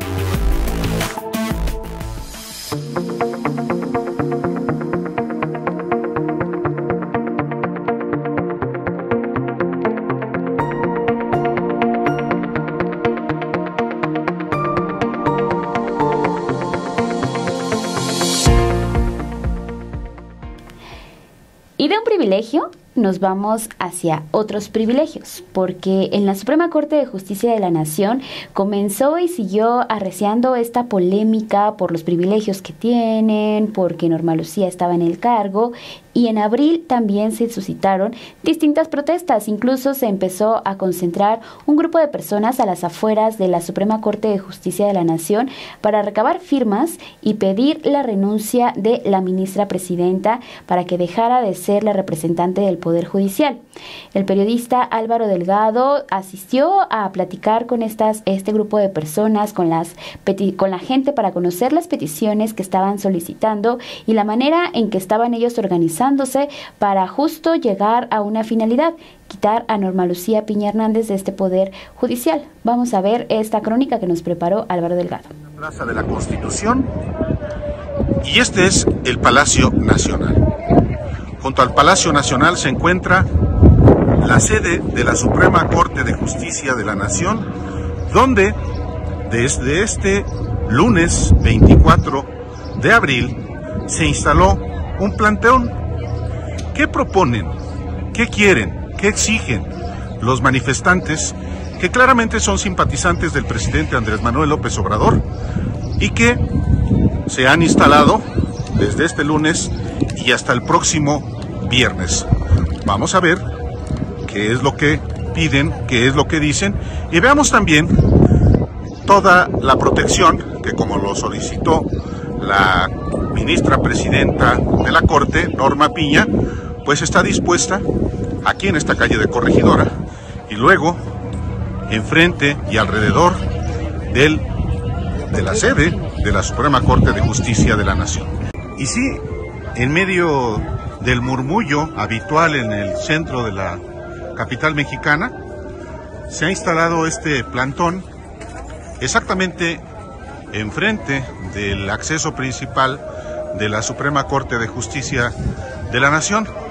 Han sido colocados en los muros frontales pues las demandas que tiene y pues aparecen la ministra presidenta de la Suprema Corte de Justicia, Norma Piña. Sacar a Norma Piña, exigimos su renuncia inmediata por todos esos agravios que ha cometido en contra del pueblo de México. ¿Cómo es que nace también la convocatoria eh, para este plantón del día de ayer hasta el viernes? ¿Por qué? Esto nació por el coraje que sentimos todos contra Norma Piña y todos los jueces y magistrados. Somos Escudo AMLO un servidor conejo político y queremos aclarar algo muy importante Álvaro. Mira, nosotros somos Escudo AMLO, aquí están los carteles, es lo que está en todas las redes sociales. Ayer se ha dado la nota donde dice que estamos pidiendo firmas. Quiero aclarar algo. Tal vez las firmas sean, no sé para qué sirvan, ignoro, pero quiero aclarar algo bien importante. Las firmas y nosotros es totalmente diferente. No pedimos firmas, no pedimos cine, lo único que hicimos hoy, inauguramos un buzón de sugerencias porque nos cerraron la puerta y estamos metiendo en la parte de abajo para que no la piña se vaya. No, está bien eso se Las, la, ¿El acopio de firmas para qué es, perdone? Precisamente para sacar los corruptos de la Suprema Corte de Injusticia. Es el periodista que está en la, en la tele. Es para, es para sacar la trasera de piña. ¿Quieren que se vaya? Pero me dicen que es diferente esta acopio de firmas de la protesta que está eh, aquí de muro AMLO. No, AMLO no, AMLO no interviene en eso. No, no, no, no, no AMLO, sino las otras personas. Es el pueblo, es el conforme, esa corrupta. corrupta. Ya basta de robo al pueblo. A eso se dedican, a robarle al pueblo. Salvando tanto corrupto. No tiene ni medio año. Obrador no lo metan, Obrador está haciendo bien las cosas y lo queremos. Nomás te están chingando la madre. Esta pinche vieja ratera que está salvando tanto corrupto, a todos los corruptos. No les vas a haber robado los culeros, más, quieren más. ¿Y las firmas a quién se las van a entregar para que se destituya Norma Piña? Mira, esto es un proceso que se lleva para la Cámara de Diputados, se va a los juristas, como este, el licenciado Cayetano, que fue diputado.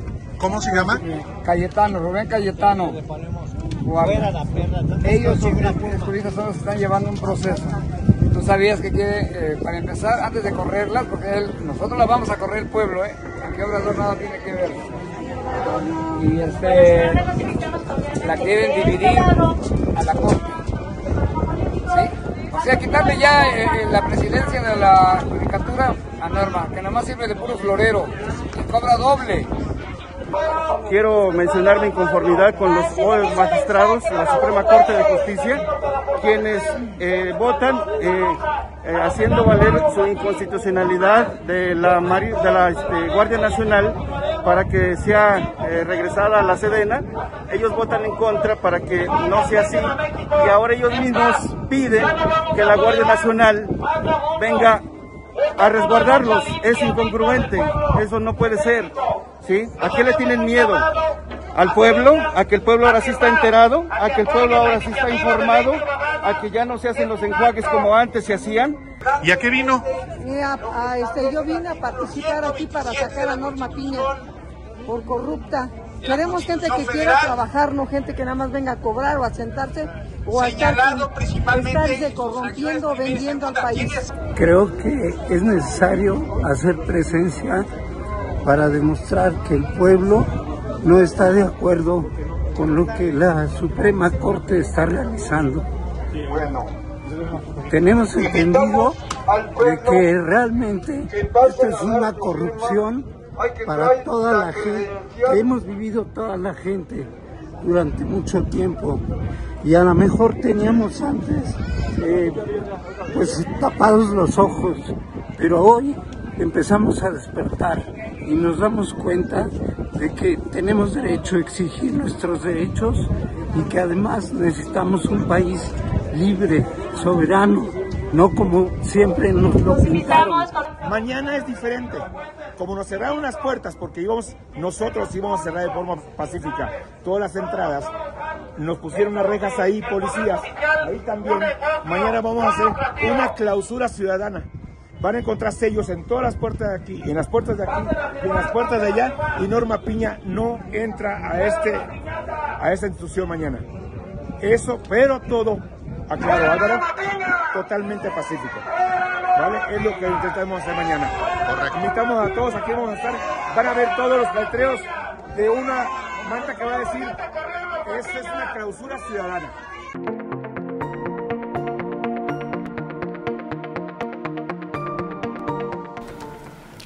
Este 2023 pues eh, siguió siendo clave en un asunto de justicia y de corrupción aquí en la Ciudad de México. El cártel inmobiliario pues como eh, conforme se va acercando la elección pues sigue siendo esa piedrita en el zapato para el panismo aquí en la capital. El 18 de marzo el vocero de la Fiscalía General de Justicia de la Ciudad de México, Ulises Lara López, reveló el testimonio de un empresario que colaboró en la presunta trama de corrupción de este cártel que tiene cuna en Benito Juárez, que es cuna política del PAN. Ahí explicó el vocero el modus operandi que eh, pues sí tiene eh, muy ligados a miembros activos del Partido Acción Nacional. Este empresario, que da su testimonio, refiere que realizó un pago por 820 mil pesos a cambio de que las cosas fluyeran correctamente entre la alcaldía y el proyecto City Towers Green Black. El vocero de la Fiscalía mencionó que se puede acreditar que se obtuvo ese dinero de la empresa, ya que como existen clientes que pagan en efectivo, se, elabora lo que denominan una nota azul, que funciona como comprobante de disposición en efectivo y se tiene la póliza donde se asienta el concepto de retiro.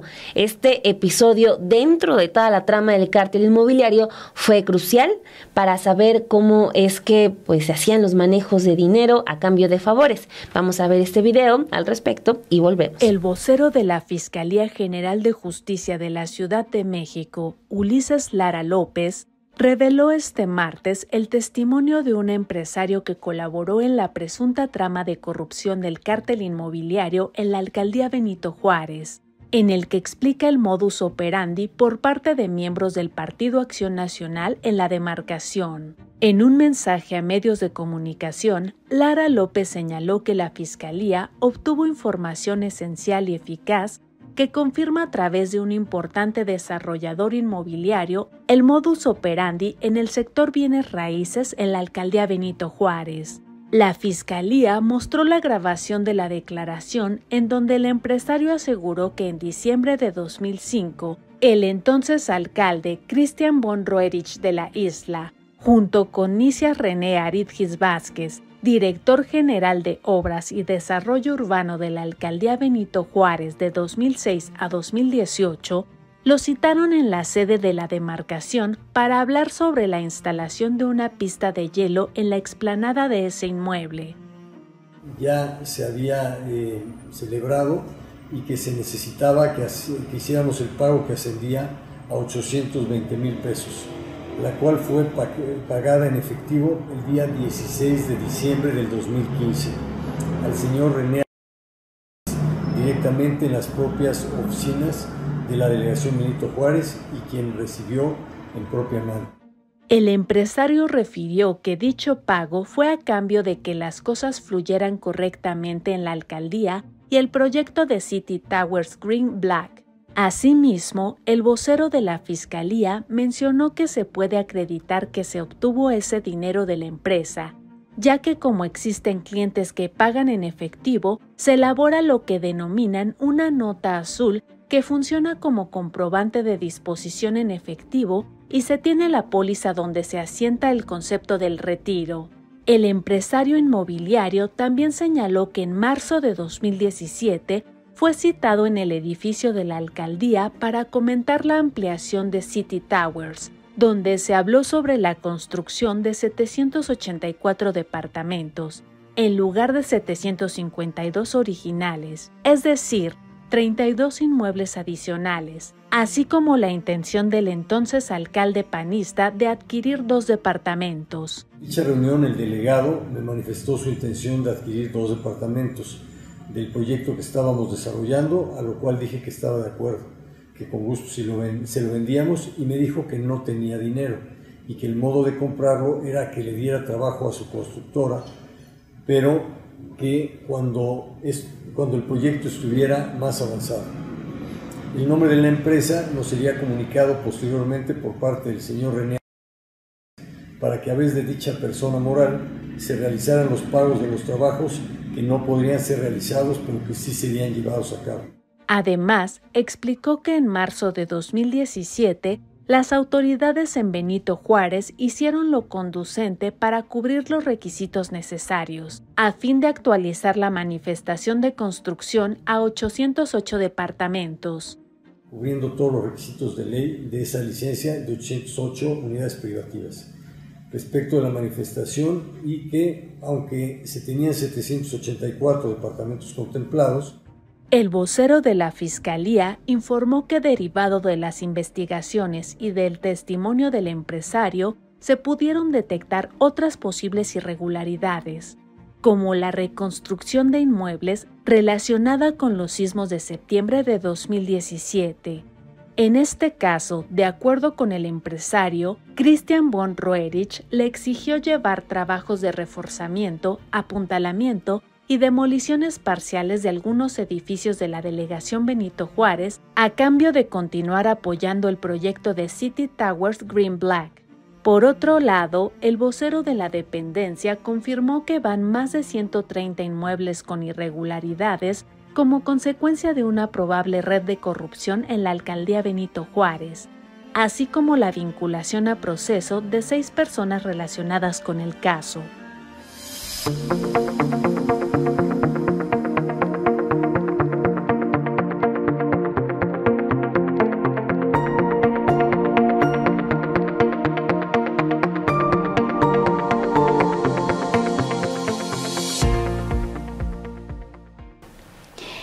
También en abril, ya casi hacia el final de este mes, el periodista Joaquín Gil de El Diario Español El País dijo que el expresidente Enrique Peña Nieto reconoció el haber utilizado dos aviones del abogado Juan Ramón Collado Moselo, quien fue detenido en México por los delitos de peculado, lavado de dinero y delincuencia organizada, para trasladar a una de sus hijas a dos prestigiosas clínicas en Estados Unidos.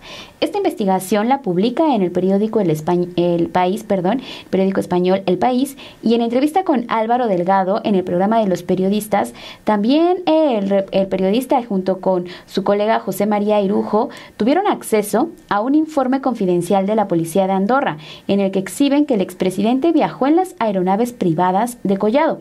Todo esto fue lo que le platicó el periodista Gil a Álvaro Delgado.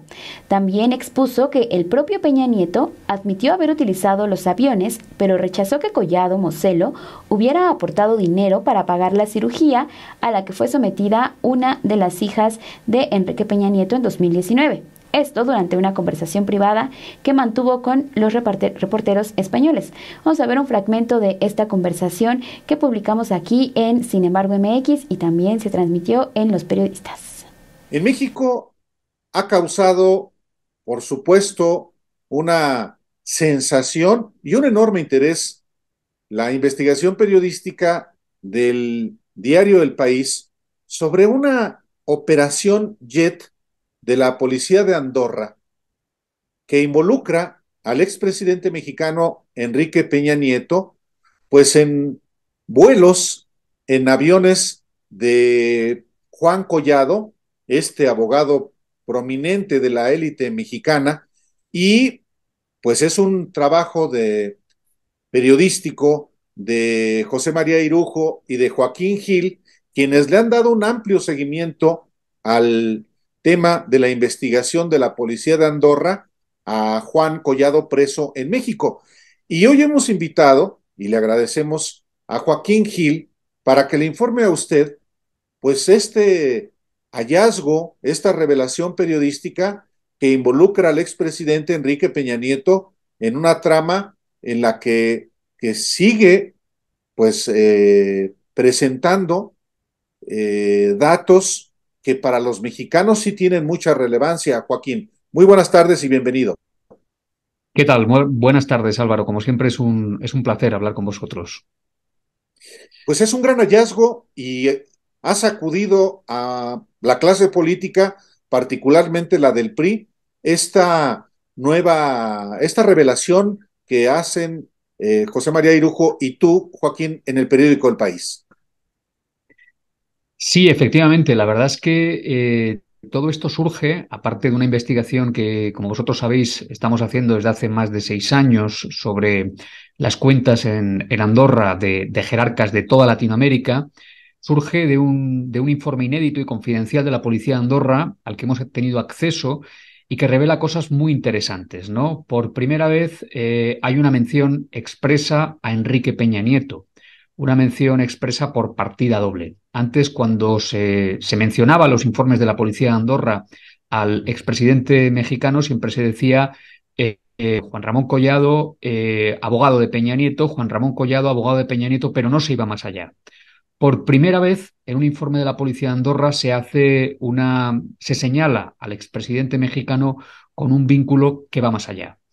En concreto, se dice que, bueno, pues que Enrique Peña Nieto eh, utilizó, tras abandonar la presidencia en 2018, los, los aviones de Juan Ramón Collado y también, según la policía de Andorra, que eh, Juan Ramón Collado abonó un tratamiento médico de 91.000 euros eh, a eh, una de las hijas de eh, Enrique Peña Nieto. ¿no? El expresidente mexicano, en una conversación que, mantuvimos hace un par de semanas, nos admitió la primera parte, es decir, nos dijo que sí, que efectivamente había volado los aviones de Collado tras abandonar la presidencia, pero nos dijo que en absoluto y nos negó categóricamente que bueno, pues Juan Ramón Collado eh, le hubiera abonado un tratamiento médico a una, a una de sus hijas, eh, que sí, que efectivamente eh, tuvo un problema médico bastante grave y fue sometida a una cirugía en 2019. pero que, bueno, los costes de esa intervención quirúrgica fueron abonados por el seguro de su hija. Sí, esa es la versión que da en la entrevista con ustedes el expresidente Enrique Peña Nieto. Admite, sí, que utilizó los aviones de Juan Collado, pero que el pago de la hospitalización de los gastos médicos de una de sus hijas lo hizo a través del seguro. Y sin embargo, el seguro de su hija, y sin embargo, Joaquín, hay una petición de las autoridades de Andorra, de la policía de Andorra, las autoridades estadounidenses para que eh, le presenten información sobre más vuelos en los que estaría involucrado Enrique Peña Nieto. Efectivamente, la policía de Andorra eh, habla de información de inteligencia ¿eh?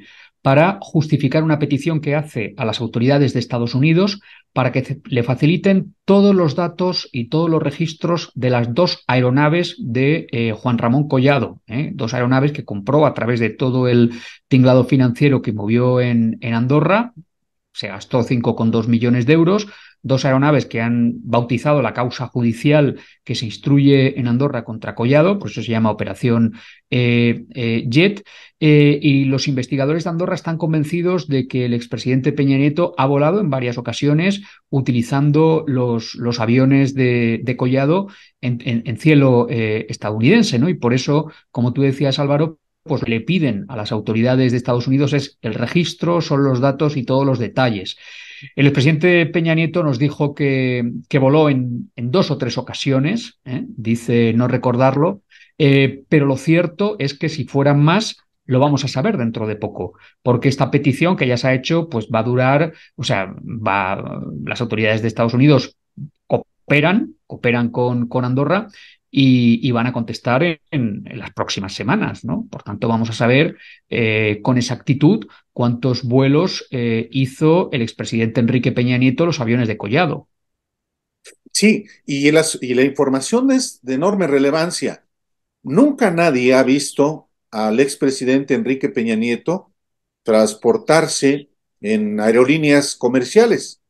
Sus traslados, de manera particular a España, donde reside desde hace ya tiempo con un, un visado eh, de oro, eh, siempre han sido pues aeronaves privadas. Él dice que se trata solamente de dos o tres ocasiones. En algún momento dice también una o dos.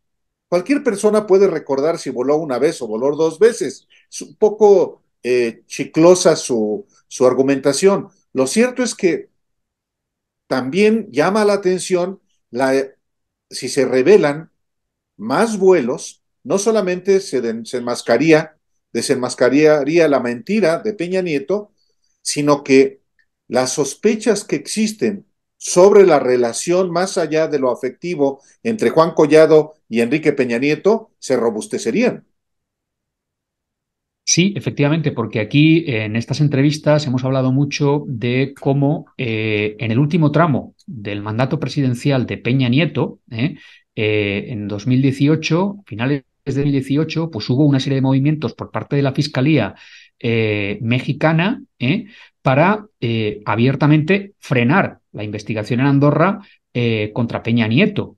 yo le pregunté al expresidente si él sabía eh, que a su amigo lo estaban eh, investigando en Andorra y me dijo que no, que él desconoce eh, si sus amigos tienen fondos en, en, el extranjero y que lo único que valora es que el origen de ese dinero sea, sea legal y que bueno, ese dinero haya sido tributado a las autoridades, a, a, la Hacienda ¿no? de, de, México, en este caso, ¿no? pero claro, a mí me resulta, esto me resultó bastante llamativo, ¿no? Porque en los distintos informes de la policía de Andorra eh, se habla expresamente de que las autoridades andorranas fueron engañadas. Y fueron engañadas por la Fiscalía Mexicana en la época de Peña Nieto, ¿no? Con, bueno, una argucia legal que se llamó una nota de acción penal, que consistió, en esencia, en intentar convencer a las autoridades de Andorra de que la causa por la que estaba siendo juzgado eh, eh, Juan Ramón Collado ya había sido archivada eh, en México porque Collado había podido justificar el origen de sus fondos con sus negocios como bueno abogado de una firma muy relevante y por una cadena de tiendas de empeño que se llama Prenda Oro y que bueno pues por tanto debía de archivarse esa esa investigación en Andorra porque no se puede juzgar a dos personas por un mismo delito cuando en un país bueno ya ha sido ya ha sido absuelto o archivado no Claro, cuando eh, ya bajo el mandato presidencial del actual eh, de, Andrés Manuel López Obrador, a Collado lo detienen y entonces automáticamente se reabre la investigación en Andorra porque los investigadores andorranos se consideran, y la juez andorrana, y así lo, lo recogen sus autos, se considera engañada, ¿no? Entonces, claro, eh, hoy conocemos con detalle ¿eh? eh, por fuentes de inteligencia y de una forma bastante explícita en informes, que ya os iremos detallando en, en distintas informaciones, Enrique Peña Nieto voló, que usó, tras abandonar la presidencia, los aviones de Juan Ramón Collado, los aviones de un señor que hoy está en el reclusorio norte de Ciudad de México, bueno, hoy desde 2000, mediados de 2019, pues por un delito de blanqueo de capitales, ¿no? Y cuando le pregunté al señor Enrique Peña Nieto si, bueno, si conocía eh, este lío judicial que tenía su, su amigo en, en, Andorra, me dijo que, que, no, y que también desconocía la polémica eh, por el que hay una investigación en curso, ¿no? Que fueron los supuestos manejos de la Fiscalía de México para frenar y abortar las pesquisas mexicanas donde este señor, ¿eh? Juan Ramón Collado, pues movió entre 2006, perdón, las pesquisas eh, en Andorra donde este señor entre 2006 y 2012 movió más de 110 millones de euros. Sí, y, y cómo es que en, cómo es que el entonces presidente Enrique Peña Nieto haya ignorado que la entonces Procuraduría General de la República, ya extinta y que la, fue sustituida por la Fiscalía General de la República, haya eh, defendido el origen lícito de los fondos de Juan Collado sin estar él enterado. Eso es, eso es también muy relevante porque al, al, él dice que ignoró lo que hizo la entonces eh, Procuraduría General de la República. En un país como México, en un gobierno como en el de Enrique Peña Nieto, en una Procuraduría como la de Enrique Peña Nieto, cuesta mucho trabajo pensar que él no haya estado involucrado, sobre todo tratándose de dinero en cuentas de un amigo tan estrecho que le presta los aviones como es esta investigación que ha revelado ahora, Joaquín. Es decir, hay cosas que van embonando y hay cosas que son muy absurdas en la versión de Enrique Peña Nieto.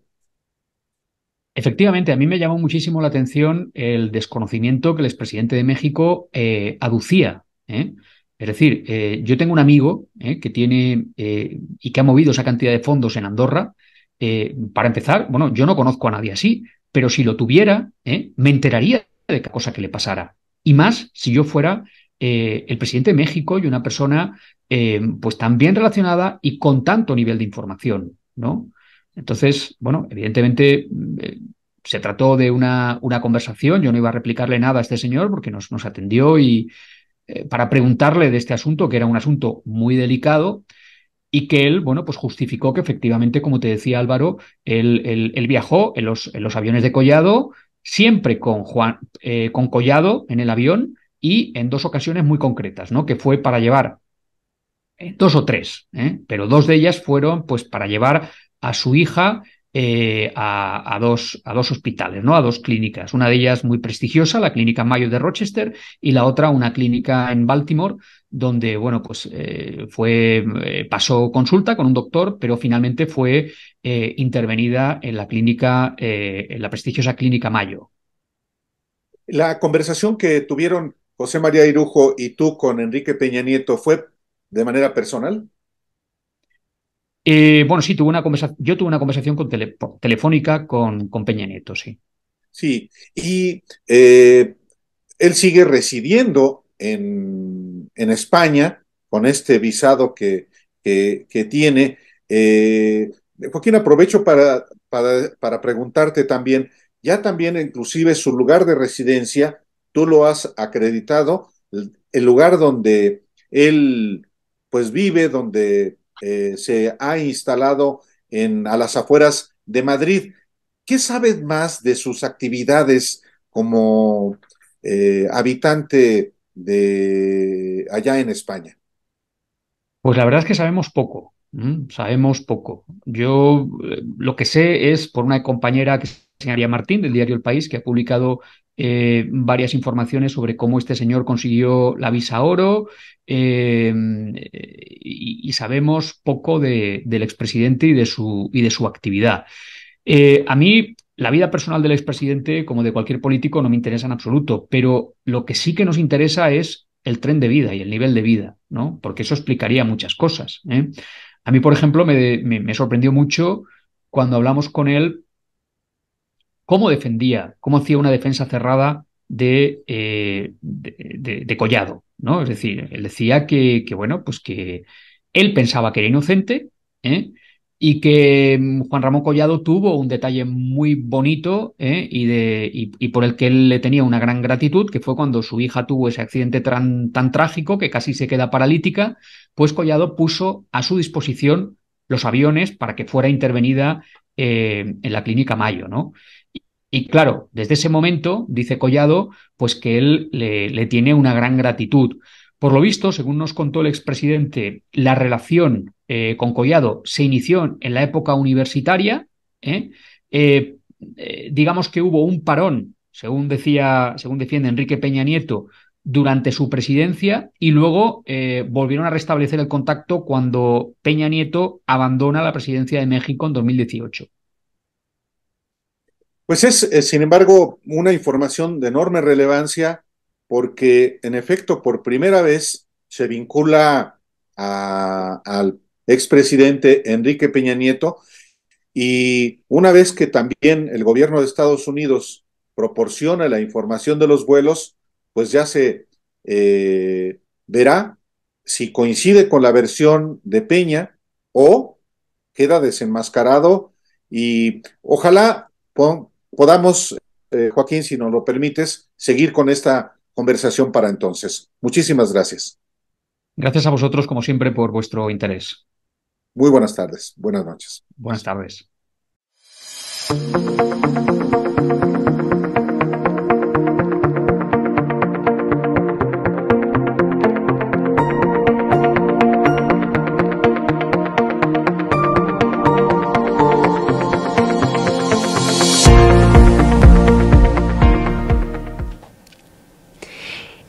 Llegamos a mayo, Perla Velázquez. Mayo, 10 de mayo, feliz día de las mamás.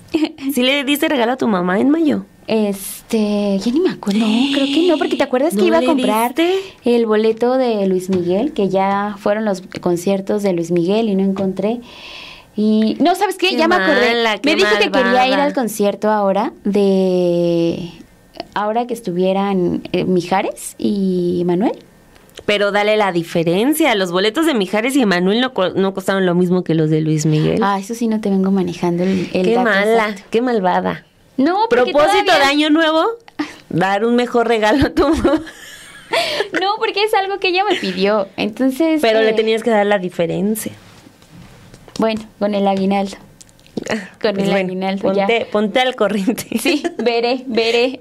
bueno, del 10 de mayo, de la felicitación de las mamás, nos vamos otra vez a los temas feos. Los del cartel inmobiliario, con una investigación de la periodista Guadalupe Fuentes López, que durante ya un largo periodo le ha estado dando seguimiento a todo, a todo este entramado. Eh, se fue ya no solo a lo que ocurre en la Ciudad de México, sino a otra modalidad de cartel inmobiliario, pero en el Estado de México. Ahí con el pretexto de cumplir con el Plan de Desarrollo de Vivienda en el año 2004, comenzó un proceso de urbanización en donde inmobiliarias apoyadas con dinero público, claro, iniciaron la construcción de lo que llamaron viviendas dignas y accesibles, un concepto que atrajo a miles de mexiquenses que pues vieron en sus manos la posibilidad a veces muy difícil de hacerse de un patrimonio. Esto ocurrió sin que se imaginaran que los materiales con los que construyeron sus casas serían de mala calidad, carecerían de agua y de otros servicios.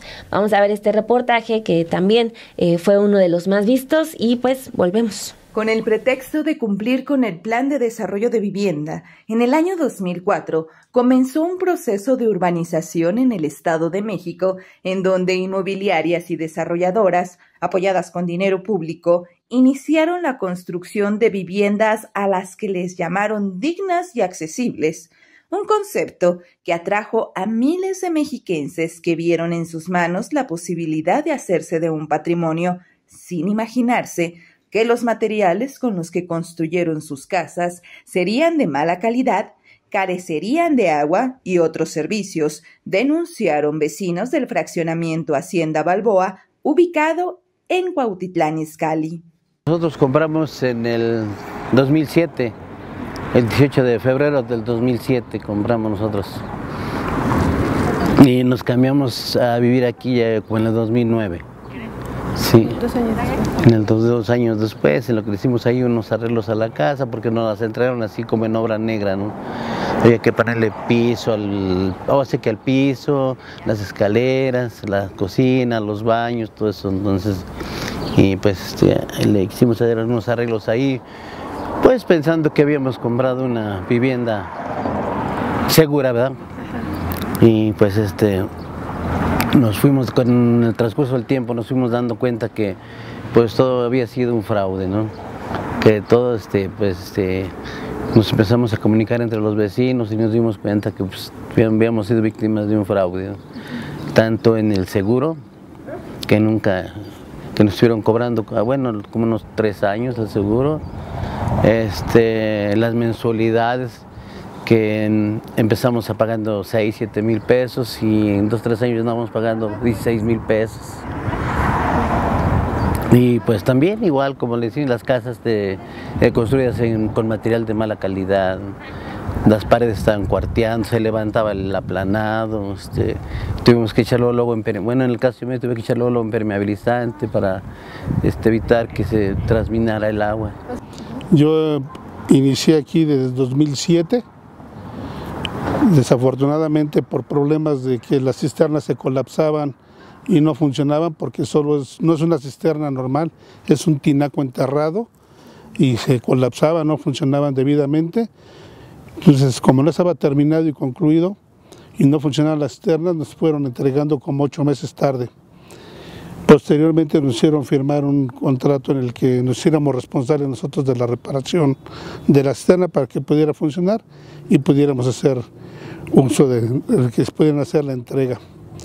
Posteriormente en la entrega a la hora de la firma de los contratos, también estábamos pidiendo que fuera como plazo fijo y ellos decían, no, no, eso lo vamos a poner nosotros después y ya le pusieron finalmente ellos cuando ni siquiera nos enteramos como veces salario mínimo, lo cual nos provocó que cada vez que estás incrementando el salario mínimo, está incrementando y multiplicando, porque dice el 4.5%, pero no dicen el 4.5% de lo que está incrementando, dicen 4.5% por 104 veces salarios mínimos que pagas, entonces ya se te va muy alto y a la larga de cómo íbamos, en menos de siete años llevábamos pagando ya el 50% adicional, o sea, como si fuera un incremento de 50%.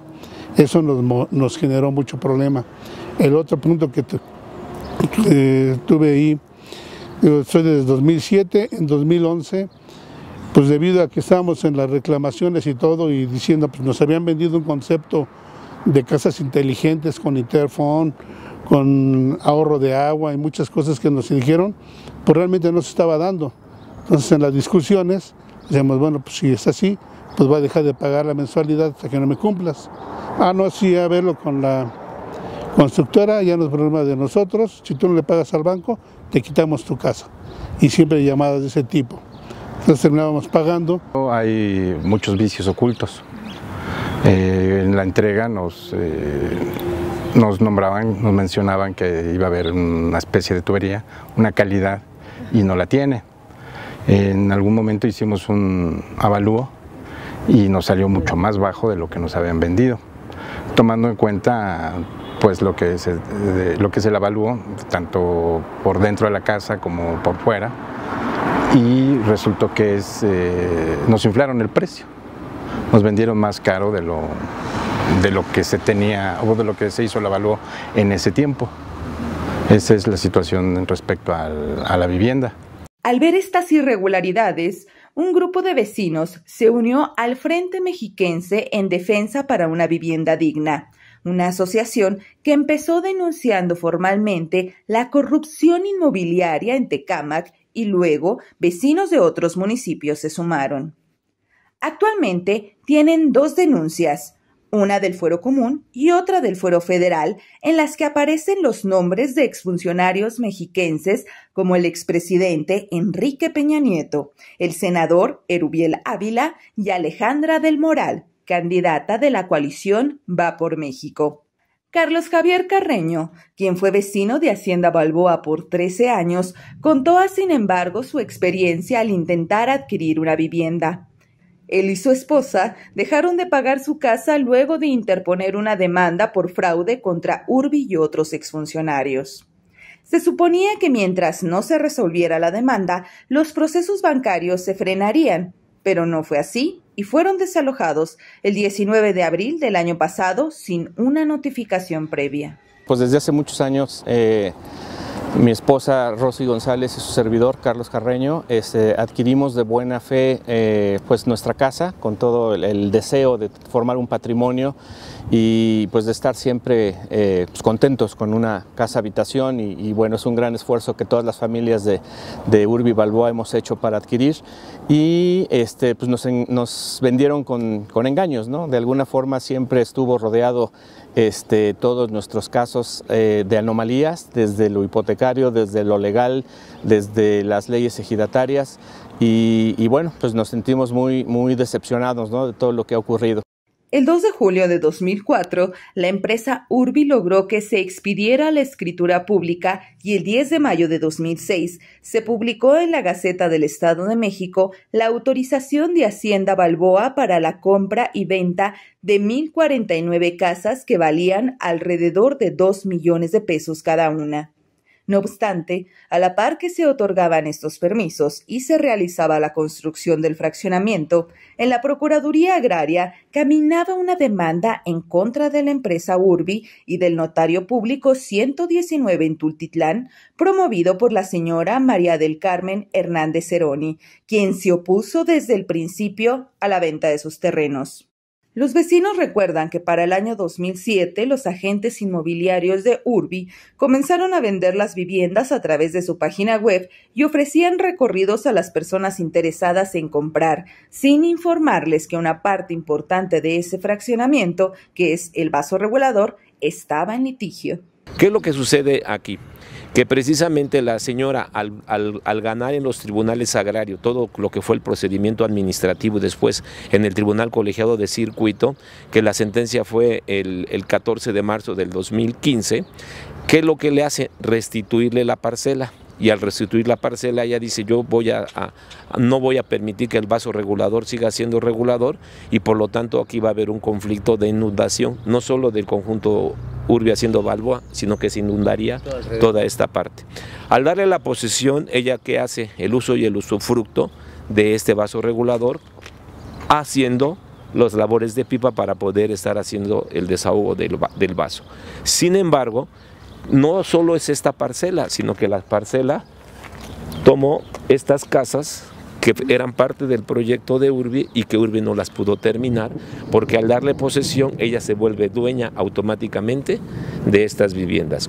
El grupo de personas que adquirió su vivienda desde 2007 en Hacienda Balboa, algunas ya no viven ahí debido a los desalojos, pero aún mantienen la esperanza de que sus demandas sean escuchadas y piden a las autoridades que investiguen el fraude que Urbi y exalcaldes cometieron en este fraccionamiento. Nosotros lo que pretendemos es que la autoridad reponga el procedimiento, ya que se simuló la entrega del fraccionamiento, cuando en realidad eh, lo único que se entregaban fueron las vialidades y no la, las áreas de urbanización. Nosotros tenemos varios vicios ocultos, entre ellos lo más importante es en la red hidráulica, en donde por varias semanas nos hemos quedado sin agua, ya que entra aire a las redes, y esto solamente se puede subsanar con la fianza que Alejandra Moral desafortunadamente le regresó a la constructora Urbi y, pues nosotros lo que queremos es que se regrese esa fianza, que se aplique la fianza y desde luego que se reponga el procedimiento y desde inicio que se haga la municipalización del fraccionamiento. Si ustedes hacen un análisis no solamente en Cuautitlán Izcalli, sino a nivel nacional, desafortunadamente no se entregan los fraccionamientos. Entonces nosotros como propietarios no podemos ejercer el derecho que tenemos de ejercer esa fianza que de alguna forma nos ofreció y se comprometió y está publicado en la Gaceta de Creación del Fraccionamiento. Entonces exigimos que se aplique esa fianza, que se regrese para que de alguna forma nosotros tengamos la garantía de tener un fraccionamiento digno y decoroso por más de 30 o 25 años, como lo dice la ley.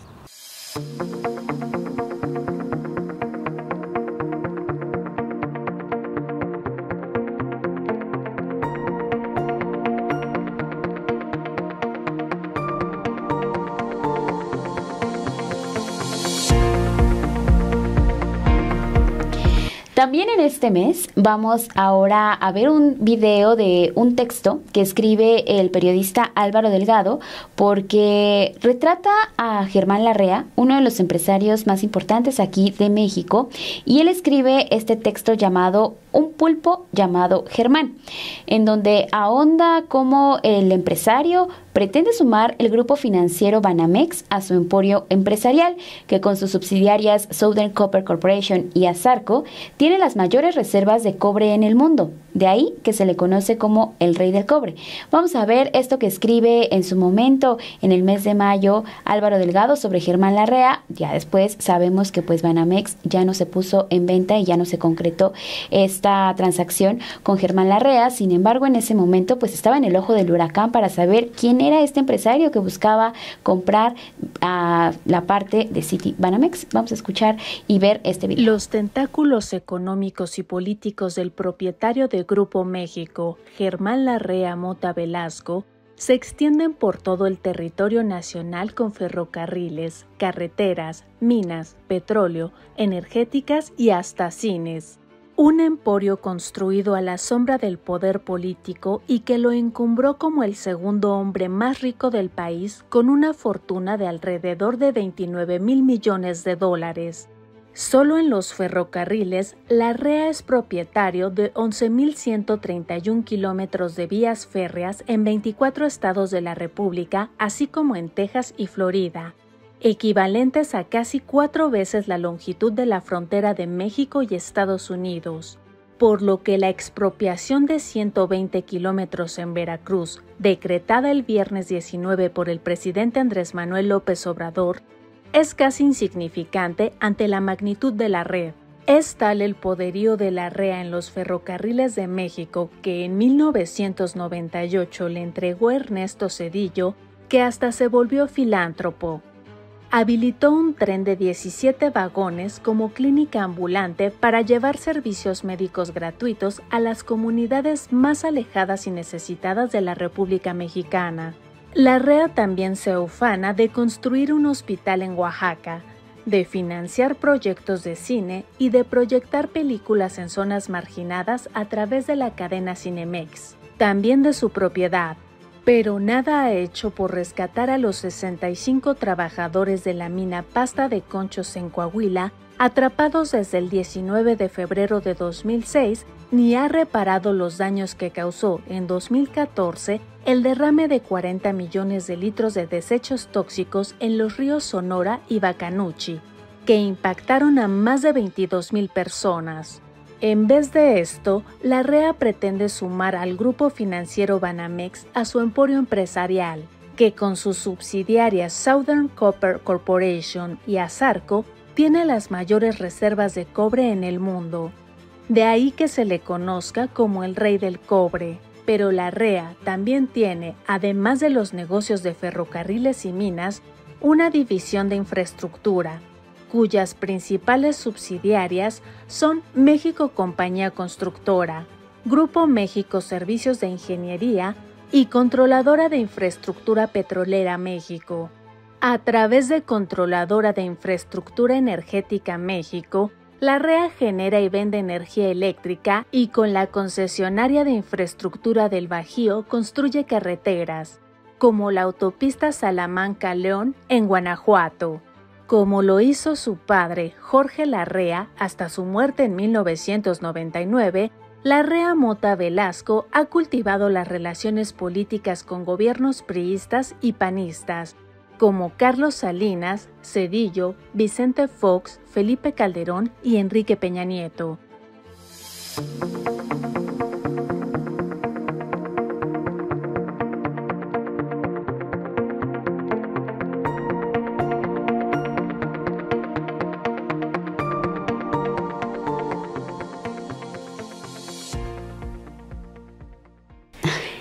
Yo digo que nos sigamos con otro reportaje de Álvaro Delgado, que tuvo un buen año. ¿Sí? Sí. Ya Sí. te decía al- hace un momento, se llevaron entre tú y Álvaro grandes investigaciones este año. Llévame a ver a, a Mijares y Emanuel. Como recompensa. Con tu mamá. Dice Paulina que ella también la llevemos. ¿Sí te gusta Mijares y. Emanuel? A mí también y a mis papás también. Ah, pues vamos todos. Sí. Sí. No Pero sé tú, cuándo. tú invita. No sé cuándo vaya a ser un concierto de ellos. Siempre tienen. Ahí Sí. estamos haciendo publicidad. Sí, exacto. Este 2023 les fue muy bien. Ah, como a Álvaro Delgado y a Dani Barragán aquí, sin embargo. Ay, quiero ser el soldado del amor. Ay. Ah.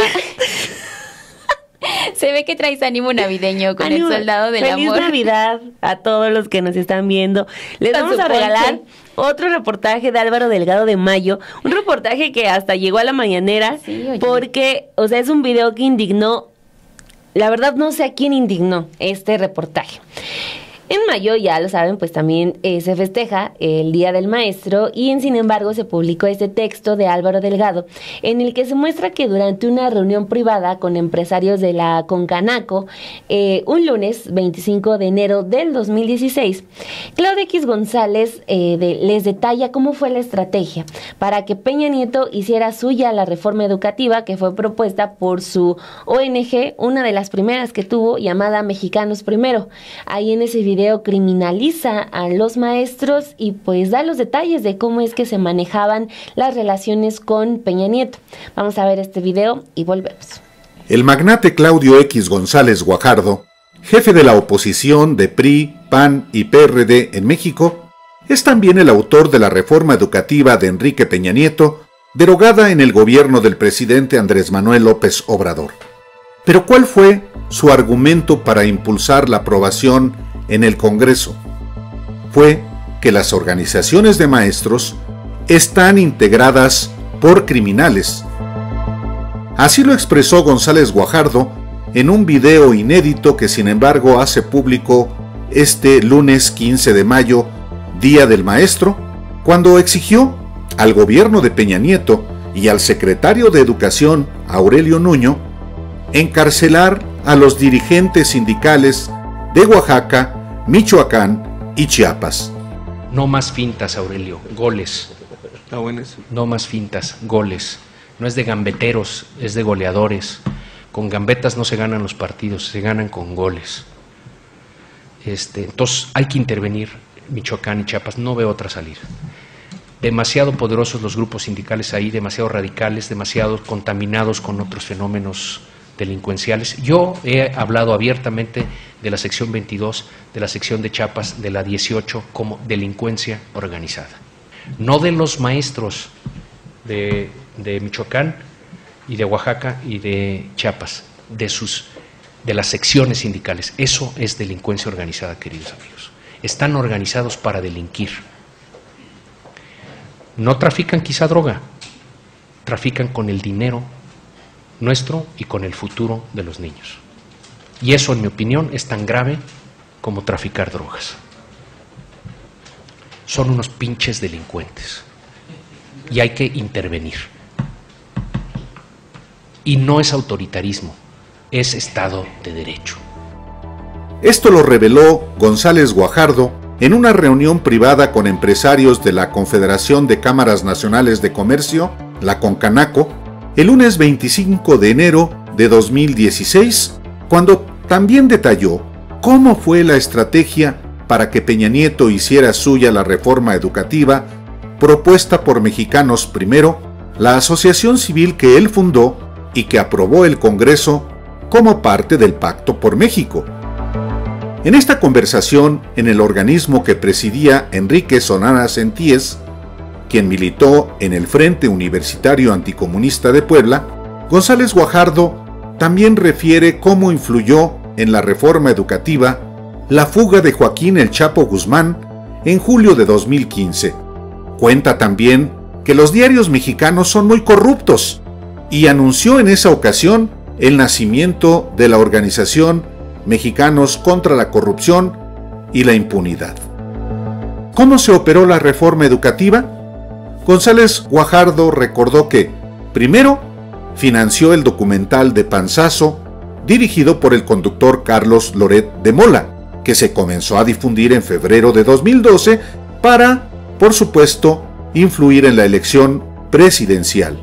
Y cuando Peña Nieto ganó, se procedió a discutir la reforma para su aprobación antes inclusive que la energética, como se lo dijo Luis Videgaray, secretario de Hacienda. Se juntaron las estrellas. Se nos alinearon, se dice, las estrellas.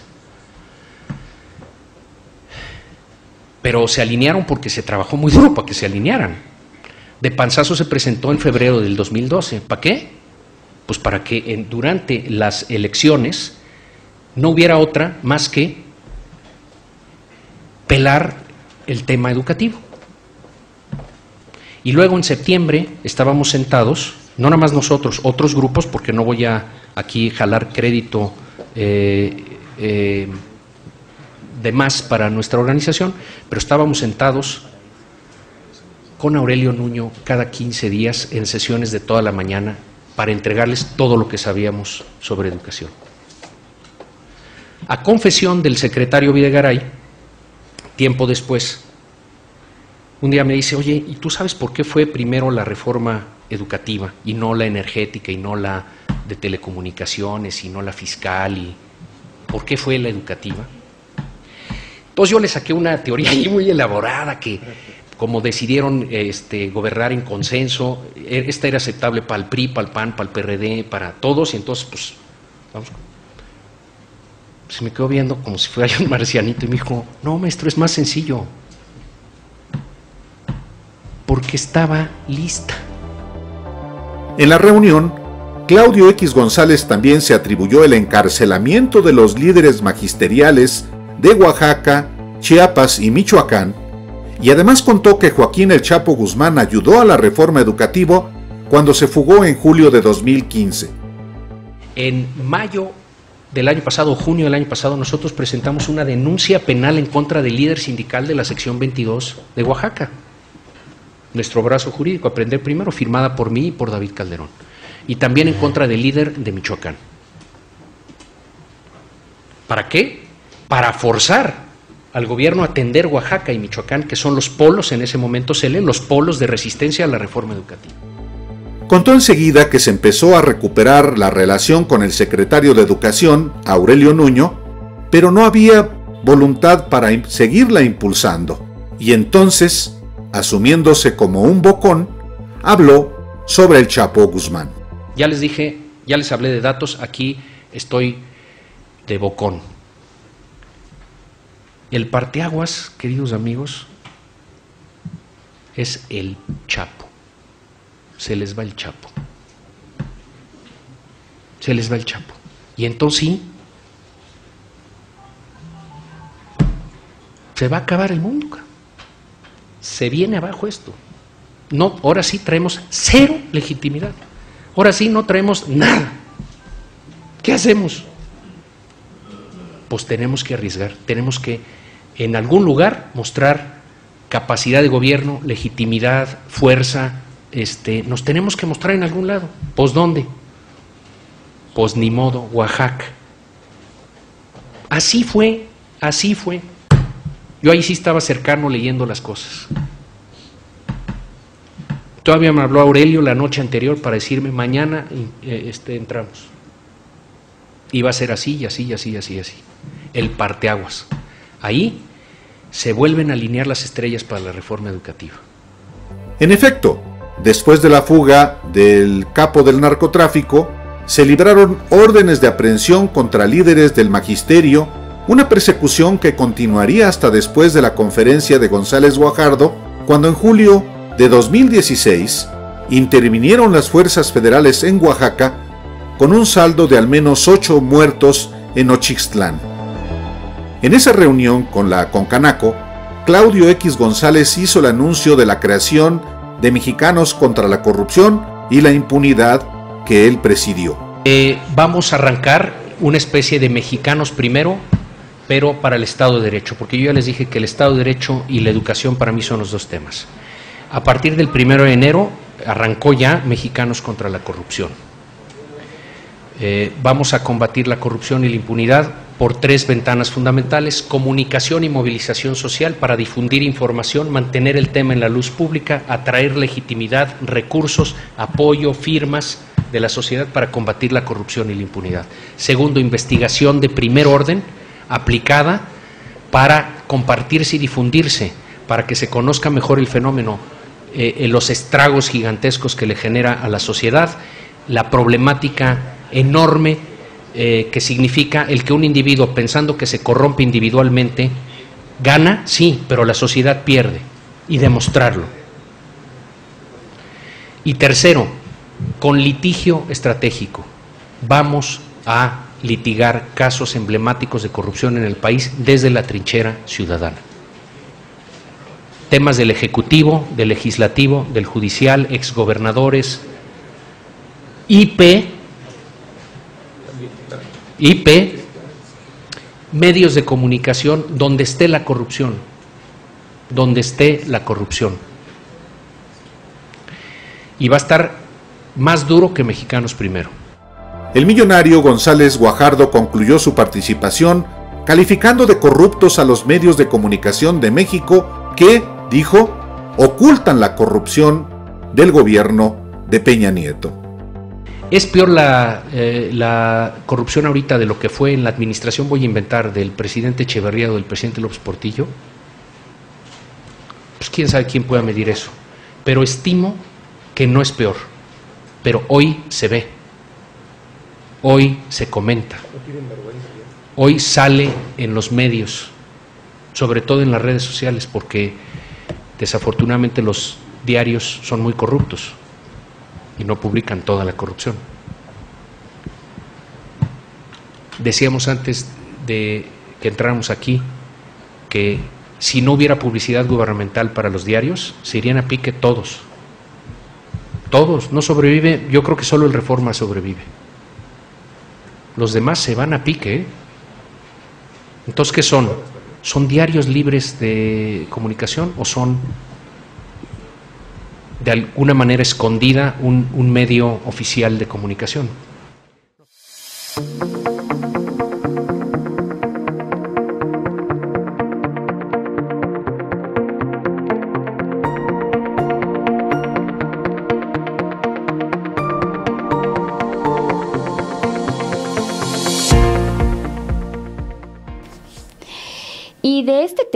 De Claudio X González y lo que sucedió con los eh, libros de texto gratuito, incluso que es un tema que en agosto vamos a, ahondar, pues nos vamos a pasar al consejero ciudadano INE. Bueno, perdón. Ciro. Además dijiste a gusto, yo te iba a decir, estamos a gusto con Adán Augusto. y la nos dice Y la pausa cuando quieran, cuando quieran. Ahí va, 5, 4, 3, 2.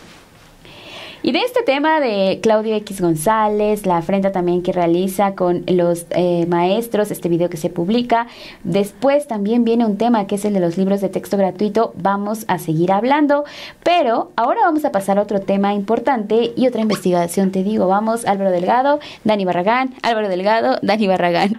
Y ahora vamos a una con Dani Barragán en el mes de junio, porque todavía me acuerdo, Dani, ese día, minutos antes de entrar al aire, Dani estaba corriendo y cada quien siempre está en su en su quehacer. Ya les contamos en unos postcréditos eh, toda la actividad que tenemos en nosotros. Ella está en calor con ese reportaje. Sí, oye, es que además eh, entrabas, salías, entrabas, salías y me decías, oye, es que estoy en una llamada, hazte cargo. Se iba, yo le decía, sí, sí, sí, no te preocupes, ahorita vemos qué estás haciendo, pero fue en vivo en donde hablaste eh, con la, UNAM, la de Economía, de Economía, exacto. La Facultad de Economía para corroborar una información importante porque veíamos que se había desplegado una carta o se había dado a conocer que Ciro Murayama había pedido un sabático todo pagado. Ese día Dani se dedicó a investigar, se dedicó a ver qué, en dónde estaba este permiso, quién se lo había dado, habló, como les decíamos, a la Facultad de Economía y en la tarde presenta el resultado de todo ese trabajo periodístico que realizó durante la primera parte del día y lo presenta con los periodistas. Vamos a ver un fragmento de esa presentación que realiza Dani Barragán y regresamos para comentar más sobre este tema que pues sí desató el enojo del el ex consejero del INE. El caso de Ciro Murayama, pues ha estado fuera de la UNAM una década. Una década. Regresa y como si hubiera sido un maestro aplicado en los últimos años, este pide un sabático. ¿Qué es lo que significa el sabático? Dani, dos cosas te preguntaría.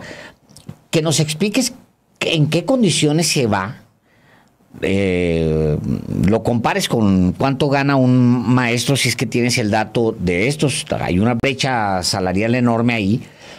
Por un lado, ¿qué es este sabático? Y por el otro lado, eh, te insistiría en el caso de esta persona que intenta cubrir el dato, que se llama em, doy la información porque creo que sí vale. María de los Ángeles Trejo Flores. ¿Grabaste la conversación? Es la secretaria de la dirección de la Facultad de Economía. ¿Grabaste esa conversación? ¿La, tenemos?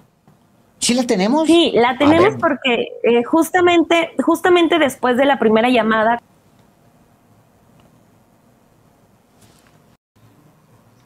Ya no te escuchamos. te perdimos, te perdimos, Dani. Barragán. Perdón, apagué el micrófono. Ya, está. Discúlpenme. Listo. Discúlpenme. Adelante, este, adelante. Sí, tenemos el, audio, tenemos el audio de esta eh, secretaria, porque yo pensé, después de la apertura de la primera persona con la que hablo, que pues iba a ser muy sencilla la confirmación de la solicitud de, de la licencia del año sabático, pero pues resultó todo lo contrario. Y si quieren, sí vamos a escuchar un, un pedacito de la conversación. Por supuesto. Eh, al ser un maestro de la Universidad Nacional Autónoma de México y también ex del INE, eh, podría ser, debería ser información pública. Sí, ¿verdad? Pero aunque sea tan pública, nosotros no estamos enterados. Hace rato con quien hablé me confirmó que sí había solicitado el, el año sabático. Ah, ya. Pues yo soy la secretaria del director tengo los datos y no, señorita, no sabría decirle porque nosotros no estamos enterados. Entonces, quien me confirmó el dato hace rato que contestó su teléfono eh, no tiene esa información. No, por supuesto. Eh, ¿Y cómo podría yo enterarme de esto? ¿Tendría que meter una solicitud de información o lo van a mantener en opacidad? Pues no sé, la verdad, ¿por qué no le pregunta a él? Pues eh, con todo respeto, usted es del área de transparencia, yo me comuniqué a este teléfono del área de transparencia, tendría que saber la vía en la que yo podría solicitar esa información, ya que es información de la Universidad Nacional Autónoma de México. Ah, bueno, pues haga la solicitud a través de transparencia. ¿Y es la vía correcta o es o, tengo que meter la solicitud por otra vía? ¿Tengo que pararme ahí en la... No tengo idea. O sea, usted como encargada de transparencia no tiene idea de cómo yo puedo enterarme de los datos de los profesores. No, no se equivoque, yo no soy la encargada de transparencia. Yo llamé al teléfono de transparencia de la Facultad de Economía. entonces, ahorita... Con... De la Facultad de Economía. Ok, entonces, ¿me podría usted indicar, por favor, cuál es la vía que yo puedo tomar para saber Ah, caray. Sí, Este, aquí lo que, lo que ocurre, ajá, me cuelga. Lo que ocurre, esta parte, es que yo recibo la llamada del mismo número del área de transparencia. Yo estaba en el programa, por eso yo por eh, en esa parte de la llamada ya le estoy diciendo que si ella era del área de transparencia, ya obviamente ella me había dicho que era la secretaria, pero pues ya se hizo el caos, yo insisto, estaba en el programa y ya fue este hermetismo pues que muy, muy evidente. Pues sí es este ganas de no informar, porque cualquier persona que tuviera el mínimo de voluntad lo que te dice es me estoy comunicando, porque no es que tú le hayas llamado, sino que se comunican contigo para decirte no tenemos nada. Te llaman para decirte tampoco conocemos la vía en la que tú puedes confirmar.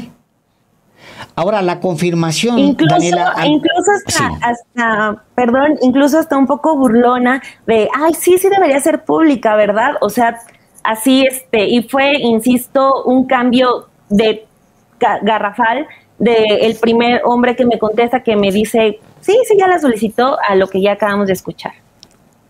Lo, lo importante es la que se acredita, que demuestras, acreditas, no solamente el año sabático, sino la manera en cómo se obtuvo de una manera irregular, Dani Barragán.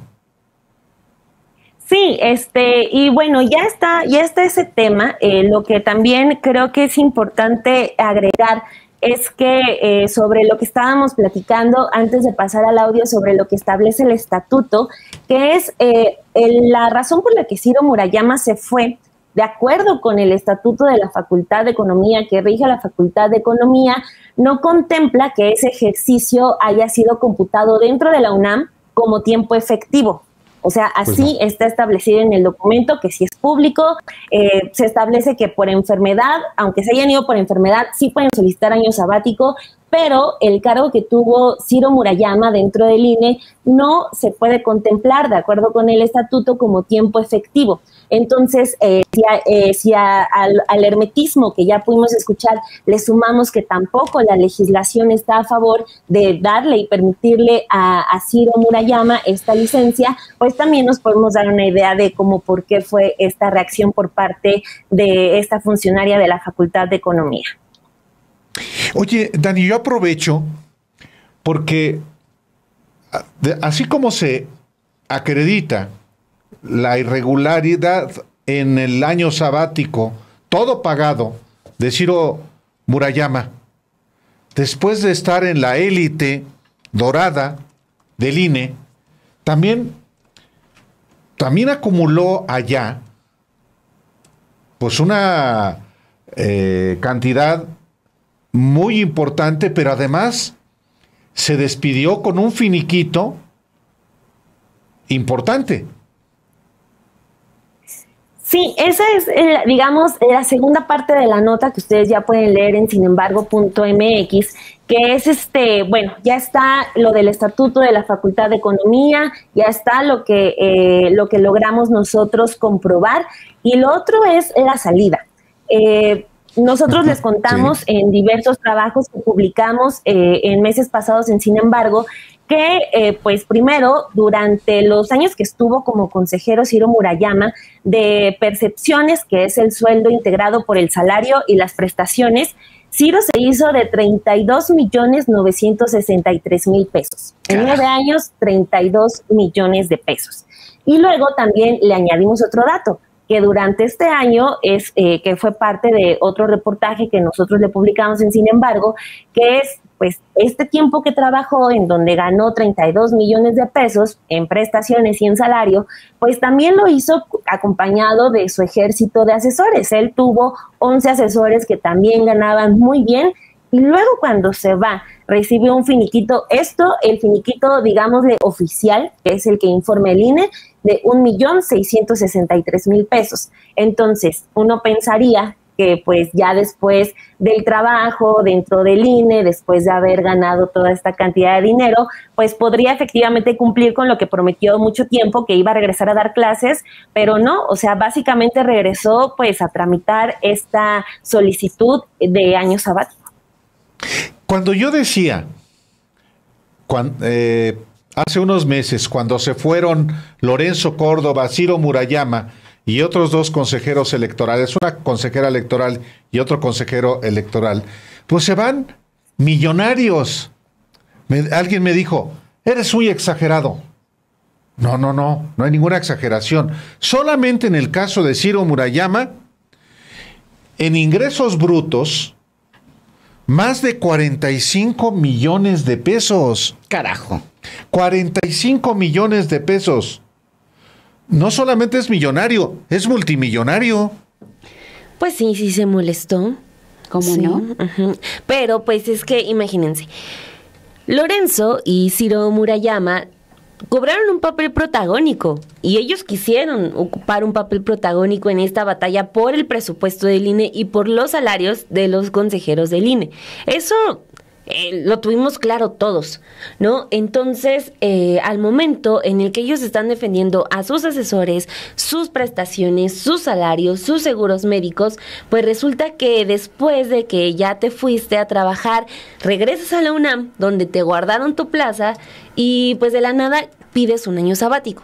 Pues él dijo que era para escribir eh, un libro, dijo que cumplió cabalmente con los requisitos para que el año sabático le fuera otorgado, pero de acuerdo con información de quienes participan en la toma de decisiones dentro de la Facultad de Economía, el exconsejero del INE se benefició de privilegios e influencias de directivos para obtener esa distinción, que pues es un año para trabajar, para generar material académico. Vamos a ver este video y volvemos. La historia de cómo Ciro Murayama Rendón obtuvo su año sabático, luego de pasar nueve años fuera de la Facultad de Economía de la UNAM, se fue construyendo de manera más detallada luego de que él mismo confirmó que volvió a la academia para solicitar este permiso y además por haber recibido el máximo nivel de estímulos económicos que la universidad ofrece a los profesores.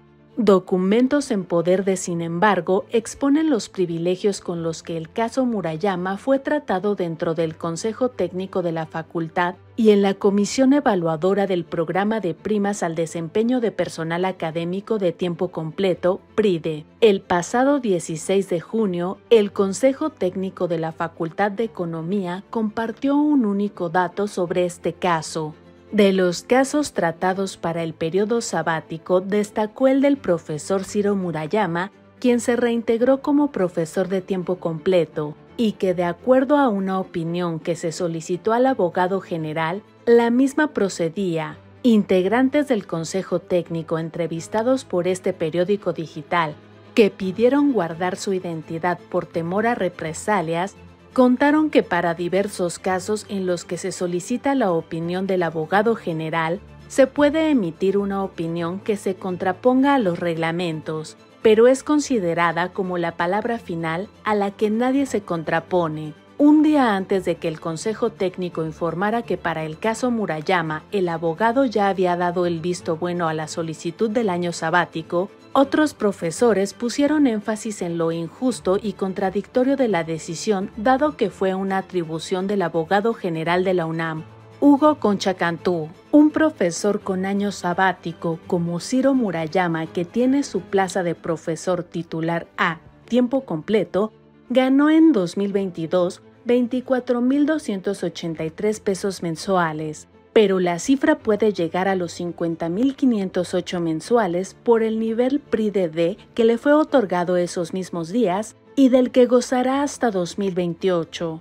Solo a nueve profesores de toda la Facultad de Economía les fue otorgada dicha distinción. Un integrante de la comisión encargada de evaluar normalmente las solicitudes detalló que para la convocatoria del año actual se analizaron ocho solicitudes para merecer esas primas. Murayama se reincorporó a la facultad el 4 de abril pasado. El 14 de ese mismo mes presentó su solicitud. El 16 llegó la solicitud a la comisión y para finales de mayo, de acuerdo con los testimonios, una autoridad universitaria decidió que la solicitud de Ciro era procedente. La decisión generó molestias porque se brincó las bases de la convocatoria anual para acceder a ese privilegio. Cuatro días después de que, sin embargo, publicara que Murayama se hizo acreedor a un año sabático luego de nueve años de licencia sin goce de sueldo en la UNAM, el exconsejero publicó que a su vuelta a la UNAM tiene estímulos que obtuvo a través de evaluaciones ante órganos colegiados que la normatividad universitaria establece para todos los académicos. No menciona el nivel de depride que generó las quejas ya citadas. Sobre el año sabático, dijo que trabajará en el proyecto de investigación México Democracia, Demografía y Economía del siglo XXI, que buscará desarrollarlo en dos semestres para publicar un libro.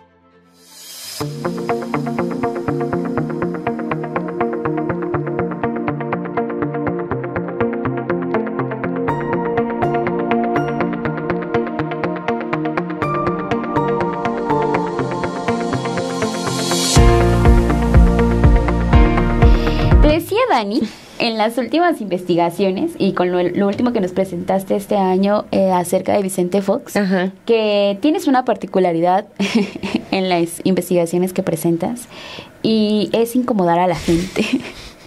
Y me quedo con ello este año porque al menos en esta primera parte ya les mostramos cómo molestaste e hiciste enojar a Ricardo Monreal y luego a Ciro Murayama. No son personas eh, que se que, que no las encontramos en la calle y que cualquier persona, ¿no? Son dos personas que representaban en su momento dos poderes importantes. Uno en el Senado y además, ¿no? O sea, más allá del trabajo que ha realizado Ricardo Monreal eh, como senador, también en el partido Morena, todo el peso se quiso aventar como aspirante presidencial. Lo hizo, hizo todo un recorrido para buscar la presidencia de México.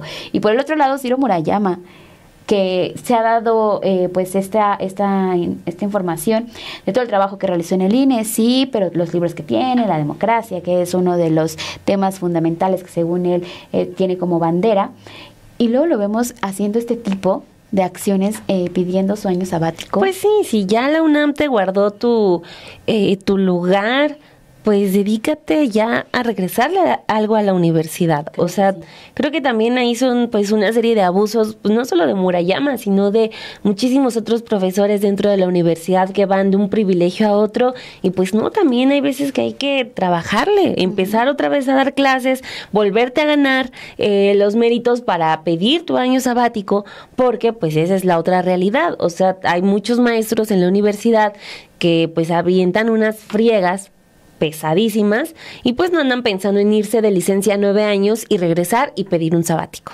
Así es.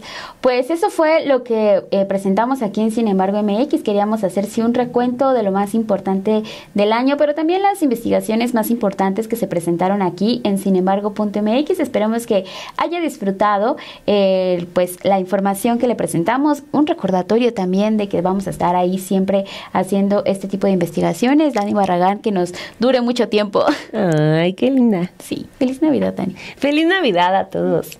Quiero ensalada de manzana, sin nuez y sin pasas.